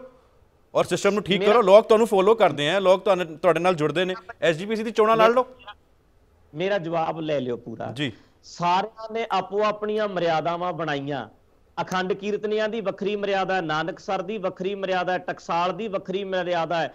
ਇੱਥੇ ਜਿਹੜਾ ਹੈ ਹਜੂਰ ਸਾਹਿਬ ਵਾਲਿਆਂ ਦੀ ਵੱਖਰੀ ਮਰਿਆਦਾ ਹੈ। ਸਾਰਿਆਂ ਨੂੰ ਇਹਨਾਂ ਨੇ ਪ੍ਰਵਾਨਗੀ ਦਿੱਤੀ ਹੈ। ਕੋਈ ਕੌਮ ਇਹਦੇ ਨਾਲ ਕਹਿੰਦੇ ਅੱਡ ਨਹੀਂ ਹੋਈ ਢੱਡਰੀਆਂ ਵਾਲੇ ਤੋਂ ਕਿਉਂ ਪ੍ਰੋਬਲਮ ਹੋਈ? ਜਦੋਂ ਸਫਾ ਵਿਛਾ ਕੇ ਬੈਠਣ ਦੀ ਗੱਲ ਮੇਰੇ ਨਾਲ ਕੀਤੀ ਜਾਂਦੀ ਹੈ ਵੀ ਕੌਮ ਅੱਡ ਅੱਡ ਹੋ ਜੂਗੀ। ਜਿੱਦਣ ਸ਼ਬੀਲ ਲਾ ਕੇ ਮੇਰਾ ਬੰਦਾ ਮਾਰਿਆ ਜਾਂਦਾ ਹੈ ਉਦੋਂ ਉਹਨਾਂ ਤੇ ਸਵਾਲ ਹੋਣਾ ਚਾਹੀਦਾ ਵੀ ਯਾਰੋ ਤੁਸੀਂ ਆਹ ਕੀ ਕਰਨ ਲੱਗੇ ਐ ਤੁਸੀਂ ਅੱਡ ਅੱਡ ਕਿਉਂ ਕਰ ਰਹੇ ਆ? ਤੁਸੀਂ ਉਹਨੂੰ ਰੋਕਣ ਜਦੋਂ ਜਾਂਦੇ ਆ ਤਾਂ ਇਹਦੇ ਨਾਲ ਢੱਡਰੀਆਂ ਵਾਲਾ ਦੂਰ ਹੋ ਜਾਣਾ ਅੱਡ ਕਿਉਂ ਕਰ ਰਹੇ ਹੋ ਤੁਸੀਂ ਉਹਨੂੰ ਆਪਣੇ ਤੋਂ? ਮੈਨੂੰ ਕਿਹਾ ਜਾ ਰਿਹਾ ਕਿ ਤੂੰ ਉਹਨਾਂ ਨਾਲ ਬੈਠ ਤਾਂ ਜੋ ਕੌਮ ਇੱਕ ਹੋਵੇ ਤੇ ਕਦੇ ਕਿਸੇ ਨੇ ਹਰਨਾਮ ਸਿੰਘ ਤੂੰ ਮੈਨੂੰ ਮਾਫੀ ਮੰਗਣ ਚਲੋ ਲਈ ਤੁਸੀਂ ਕਿਹਾ ਨਾ ਬੈਠੋ। ਤੁਸੀਂ ਕਹਿੰਦੇ ਹੋ ਕਿ ਮੈਂ ਨਹੀਂ ਬੈਠਣਾ ਚਾਹੁੰਦਾ। ਪਰ ਸਿਸਟਮ ਦੇ ਵਿੱਚ ਵੜ ਕੇ ਕੰਮ ਕਰਨਾ ਠੀਕ ਹੁੰਦਾ ਹੈ ਕਿ ਸਿਸਟਮ ਦੇ ਬਾਹਰ ਰਹਿ ਕੇ ਠੀਕ ਹੁੰਦਾ ਤੁਸੀਂ ਸਿਸਟਮ ਨੂੰ ਠੀਕ ਕਰਨਾ ਚਾਹੁੰਦੇ ਹੋ ਨਾ? ਤੁਸੀਂ ਚਾਹੁੰਦੇ ਹੋ ਕਿ ਮੈਂ ਲੌਜੀਕ ਦੇਣਾ ਚਾਹੁੰਦਾ। ਤੇ ਲੌਜੀਕ ਦੇ ਨਾਲ ਨਾਲ ਐਸਜੀਪੀਸੀ ਦੀ ਚੋਣਾਂ ਲੜ ਲਓ। ਹੋ ਸਕਦਾ ਜੀ ਸਮਾਂ ਆ ਹੀ ਜਾਵੇ ਲੋਕੀ ਜਦੋਂ ਭਾਂਡਾ ਭਰ ਜਾਂਦਾ ਆ ਘੜਾ ਭਰ ਜਾਂਦਾ ਆ ਹੋ ਸਕਦਾ ਡੁੱਲਣ ਵੀ ਲੱਗ ਜੇ ਆਉਣ ਵਾਲੇ ਸਮੇਂ 'ਚ ਲੋਕਾਂ ਦਾ ਦਿਮਾਗ ਚੱਲੇਗਾ ਤੇ ਹੋ। ਸਕਦਾ ਹੋਵੇ ਹੋ ਸਕਦਾ ਇਦਾਂ ਦੀ ਆਵਾਜ਼ ਵੀ ਦੇ ਦਈਏ। ਚਲੋ ਦੈਟਸ ਵੈਰੀ ਨਾਈਸ ਤੁਸੀਂ ਅੱਜ ਪਹਿਲੀ ਵਾਰ ਖੁਲਾਸਾ ਕੀਤਾ ਕਿ ਹੋ ਸਕਦਾ ਕਿ ਭਾਈ ਸਾਹਿਬ ਰਣਜੀਤ ਸਿੰਘ ਜੀ ਢੱਡਰੀਆਂ ਵਾਲੇ ਐਸਜੀਪੀਸੀ ਦੀ ਵੀ ਚੋਣਾਂ ਲੜ ਸਕਦੇ ਹਨ ਜੇਕਰ ਸਿਸਟਮ ਨੂੰ ਠੀਕ ਕਰਨਾ ਹੈ। ਥੈਂਕ ਯੂ ਹੋ ਸਕਦਾ ਠੀਕ ਹੈ। ਜਾਂਦੇ ਜਾਂਦੇ ਕੁਝ ਹੋਰ ਸੁਨੇਹਾ ਸਾਡੇ ਦਰਸ਼ਕਾਂ ਨੂੰ, ਸਮਾਂ ਮੇਰੇ ਕੋਲ ਬਹੁਤਾ ਨਹੀਂ ਹੈਗਾ, ਪਰ ਕਈ ਸਾਰੇ ਦੇ ਸਵਾਲਾਂ ਦੇ ਜਵਾਬ ਤੁਸੀਂ ਅੱਜ ਸਪਸ਼ਟ ਕੀਤੇ ਔਰ ਮੈਂ ਆਪਣੇ ਦਰਸ਼ਕਾਂ ਨੂੰ ਵੀ ਕਹਾਂਗਾ, ਜੇਕਰ ਉਹਨਾਂ ਦਾ ਵੀ ਕੋਈ ਸਵਾਲ ਹੈ ਤਾਂ ਮੈਨੂੰ ਈਮੇਲ ਰਾਹੀਂ ਲਿਖ ਕੇ ਭੇਜ ਦੇਣ, ਮੈਂ ਭਾਈ ਸਾਹਿਬ ਤੋਂ ਪੁੱਛ ਲਵਾਂਗਾ। harkirat@justbroadcasting.com info@justbroadcasting.com ਮੈਂ ਤੁਹਾਡੀ ਕਾਲਾਂ ਅੱਜ ਨਹੀਂ ਚੱਕ ਪਾਇਆ ਕਿਉਂਕਿ ਸਵਾਲ ਇੰਨੇ ਸਾਰੇ ਸੀਗੇ ਕਿ ਗੱਲ ਨਹੀਂ ਹੋ ਪਾਈ, ਪਰ ਈਮੇਲ ਰਾਹੀਂ ਕੋਈ ਵੀ ਤੁਹਾਡਾ ਸਵਾਲ ਹੈ ਮੈਨੂੰ ਜਰੂਰ ਲਿਖ ਕੇ ਭੇਜੋ ਮੈਂ ਭਾਈ ਸਾਹਿਬ ਨਾਲ ਜਰੂਰ ਉਸ ਦੇ ਉੱਤੇ ਜਿਹੜਾ ਹੈਗਾ, ਜਵਾਬ ਲੈ ਲਵਾਂਗਾ। ਭਾਈ ਸਾਹਿਬ ਜਾਂਦੇ ਜਾਂਦੇ ਕੀ ਕਹਿਣਾ ਚਾਹੋਗੇ ਸਾਡੇ ਦਰਸ਼ਕਾਂ ਨੂੰ? ਮੈਂ ਬੇਨਤੀ ਇਹ ਕਰਨੀ ਚਾਹੁੰਦਾ, ਵੀ ਜੀ ਕਹਿੰਦੇ ਆ ਵੀ ਢੱਡਰੀਆਂ ਵਾਲਾ ਜਾਂ ਟਕਸਾਲ ਵਾਲੇ ਦੱਸਦੇ ਆ ਵੀ ਇਹ ਬਕਵਾਸ ਕਰਦਾ ਗਲਤ ਸਟੇਟਮੈਂਟਾਂ ਦਿੰਦਾ ਗੁਰਬਾਣੀ ਨੂੰ ਨਹੀਂ ਮੰਨਦਾ, ਗੁਰੂ ਸਾਹਿਬ ਨੂੰ ਨਹੀਂ ਮੰਨਦਾ, ਗੁਰਸਥਾਨਾਂ ਨੂੰ ਨਹੀਂ ਮੰਨਦਾ। ਮੇਰੇ ਸਾਰੇ ਪ੍ਰੋਗਰਾਮ YouTube ਚੈਨਲ ਤੇ ਪਏ ਐ ਸਾਡੇ ਚੈਨਲ ਨੂੰ ਵੇਖ ਲਓ। ਉਹਦੇ ਤੇ ਆ ਕੇ ਸਾਰੇ ਪ੍ਰੋਗਰਾਮ ਕੱਲਾ ਕੱਲਾ ਕੱਲਾ ਕੱਲਾ ਵਾਚ ਕਰਦੇ ਜਾਓ। ਜਿੱਥੇ ਤੁਹਾਨੂੰ ਗਲਤ ਲੱਗਦਾ ਹੈ ਮੇਰੇ ਵਰਗੇ ਬੰਦੇ ਨੂੰ ਦੁਰਕਾਰੋ ਡਸਟਬਿਨ ਉਹਦੇ ਤੇ ਬਣਿਆ ਹੁੰਦਾ ਛੋਟਾ ਜਿਹਾ ਉਹਦੇ ਵਿੱਚ ਸਿੱਟ ਦਿਓ ਰਣਜੀਤ ਸਿੰਘ ਨੂੰ ਸਣੇ ਵੀਡੀਓ ਨੂੰ ਜੇ ਗਲਤ ਹੈ ਸੁਣ ਤਾਂ ਲਓ ਪਤਾ ਤਾਂ ਲੱਗ ਜਾਏ ਅੱਜ ਤਾਂ ਸੋਸ਼ਲ ਮੀਡੀਆ ਦਾ ਜ਼ਮਾਨਾ ਹੈ ਵੀ ਇਹ ਤਾਂ ਕੱਲ ਨੂੰ ਕੀ ਪਤਾ ਇਹ ਕਹਿ ਦੇਣ ਵੀ ਗੁਰੂ ਗ੍ਰੰਥ ਸਾਹਿਬ ਜੀ ਦੀ ਬੇਦਬੀਆਂ ਕਰਦਾ ਹੁੰਦਾ ਸੀ ਆਪਣੇ ਡੇਰੇ 'ਚ ਹੁਣ ਇਹਦਾ ਕੀ ਹੈ ਇਲਜ਼ਾਮ ਜਿੰਨੇ ਮਰਜ਼ੀ ਲਾ ਲਓ। ਬਾਕੀ ਜਿਹੜੀ ਗੱਲ ਮੈਨੂੰ ਕਹੀ ਜਾਂਦੀ ਹੈ ਢੱਡਰੀਆਂ ਵਾਲਿਆ ਏਕਤਾ ਕਰ ਫਿਕਰ ਬਹੁਤ ਹੈ ਕੌਮ ਇੱਕ ਹੋਵੇ ਇਹ ਛਬੀਲਾਂ ਲਾਉਣ ਵਾਲਿਆਂ ਨੂੰ ਦਬਕੇ ਮਾਰਨ ਵਾਲਿਆਂ ਨੂੰ ਵੀ ਕਹੀ ਜਾ ਸਕਦੀ ਹੈ। ਅੱਜ ਤੱਕ ਕਿਸੇ ਬੰਦੇ ਨੇ ਨਹੀਂ ਕਿਹਾ ਕੌਮ ਅੱਡ ਅੱਡ ਹੋ ਜਾਣੀ ਹਰਨਾਮ ਸਿੰਘ ਧੁੰਮਾ ਬੰਦਾ ਮਾਰ ਕੇ ਗਲਤ ਕੀਤਾ ਚਾਹੇ ਤੂੰ ਟਕਸਾਲ ਦਾ ਹੀ ਮੁਖੀ ਹੈ। ਬਾਬਾ ਜਰਨੈਲ ਸਿੰਘ ਦਾ ਕੌਮ ਸਤਿਕਾਰ ਕਰਦੀ ਹੈ ਪਰ ਬਾਬਾ ਜਰਨੈਲ ਸਿੰਘ ਦੇ ਨਾਮ ਹੇਠ ਉਹਨਾਂ ਦੀ ਆੜ ਵਿੱਚ ਆ ਧੱਕਾ ਨਾ ਕਰੋ ਬੰਦਾ ਦੂਰ ਹੁੰਦਾ ਹੁੰਦਾ ਦੂਰ ਹੋ ਜਾਏਗਾ। ਚਲੋ ਭਾਈ ਸਾਹਿਬ ਉਹਨਾਂ ਨੂੰ ਵੀ ਕਹੀਏ ਤੇ ਮੈਂ ਵੀ ਤਿਆਰ ਮੱਥਾ ਟੇਕਣ ਕਦ ਜਾ ਰਹੇ ਹੋ ਹਰਮੰਦਰ ਸਾਹਿਬ? ਜਦੋਂ ਮੇਰਾ ਮਨ ਕਰੇਗਾ ਜੀ ਮੈਂ ਸੋਚਦਾ ਮੈਂ ਗੱਲ ਕਰ ਹੀ ਰਿਹਾ ਸੀ ਸੋਚਦੇ ਆ ਜਿੱਦਣ ਠੀਕ ਲੱਗਦਾ ਜ਼ਰੂਰ ਜਾਵਾਂਗੇ। ਚਲੋ ਠੀਕ ਹੈ। ਮਿਹਰਬਾਨੀ ਤੁਸੀਂ ਸਾਡੇ ਨਾਲ ਜੁੜੇ। ਕਈ ਸਾਰੇ ਸਵਾਲਾਂ ਦੇ ਉੱਤੇ ਤੁਸੀਂ ਜਵਾਬ ਦਿੱਤੇ। ਵਾਹਿਗੁਰੂ ਜੀ ਕਾ ਖਾਲਸਾ ਵਾਹਿਗੁਰੂ ਜੀ ਕੀ ਫਤਿਹ। ਵਾਹਿਗੁਰੂ ਜੀ ਕਾ ਖਾਲਸਾ। ਸੋ ਐਸੇ ਕਿ ਭਾਈ ਸਾਹਿਬ ਰਣਜੀਤ ਸਿੰਘ ਜੀ ਢੱਡਰੀਆਂ ਵਾਲੇ। ਇਲਜ਼ਾਮ ਲੱਗਦੇ ਹਨ ਔਰ ਇਲਜ਼ਾਮਾਂ ਦੇ ਉੱਤੇ ਜਦ ਸਪਸ਼ਟੀਕਰਨ ਲੈਣ ਦੀ ਗੱਲ ਹੁੰਦੀ ਹੈ ਤਾਂ ਜਸ ਪੰਜਾਬੀ ਆਪਣੀ ਜ਼ਿੰਮੇਵਾਰੀ ਸਮਝਦਾ ਔਰ ਇਹ ਵੀ ਸਮਝਦਾ ਕਿ ਕਿਉਂ ਇਹਨਾਂ ਦੀ ਵਿਚਾਰਧਾਰਾ ਜਿਹੜੀ ਹੈਗੀ ਹੈ ਉਹ ਵਕਤ ਚੱਲ ਰਹੀ ਹੈ।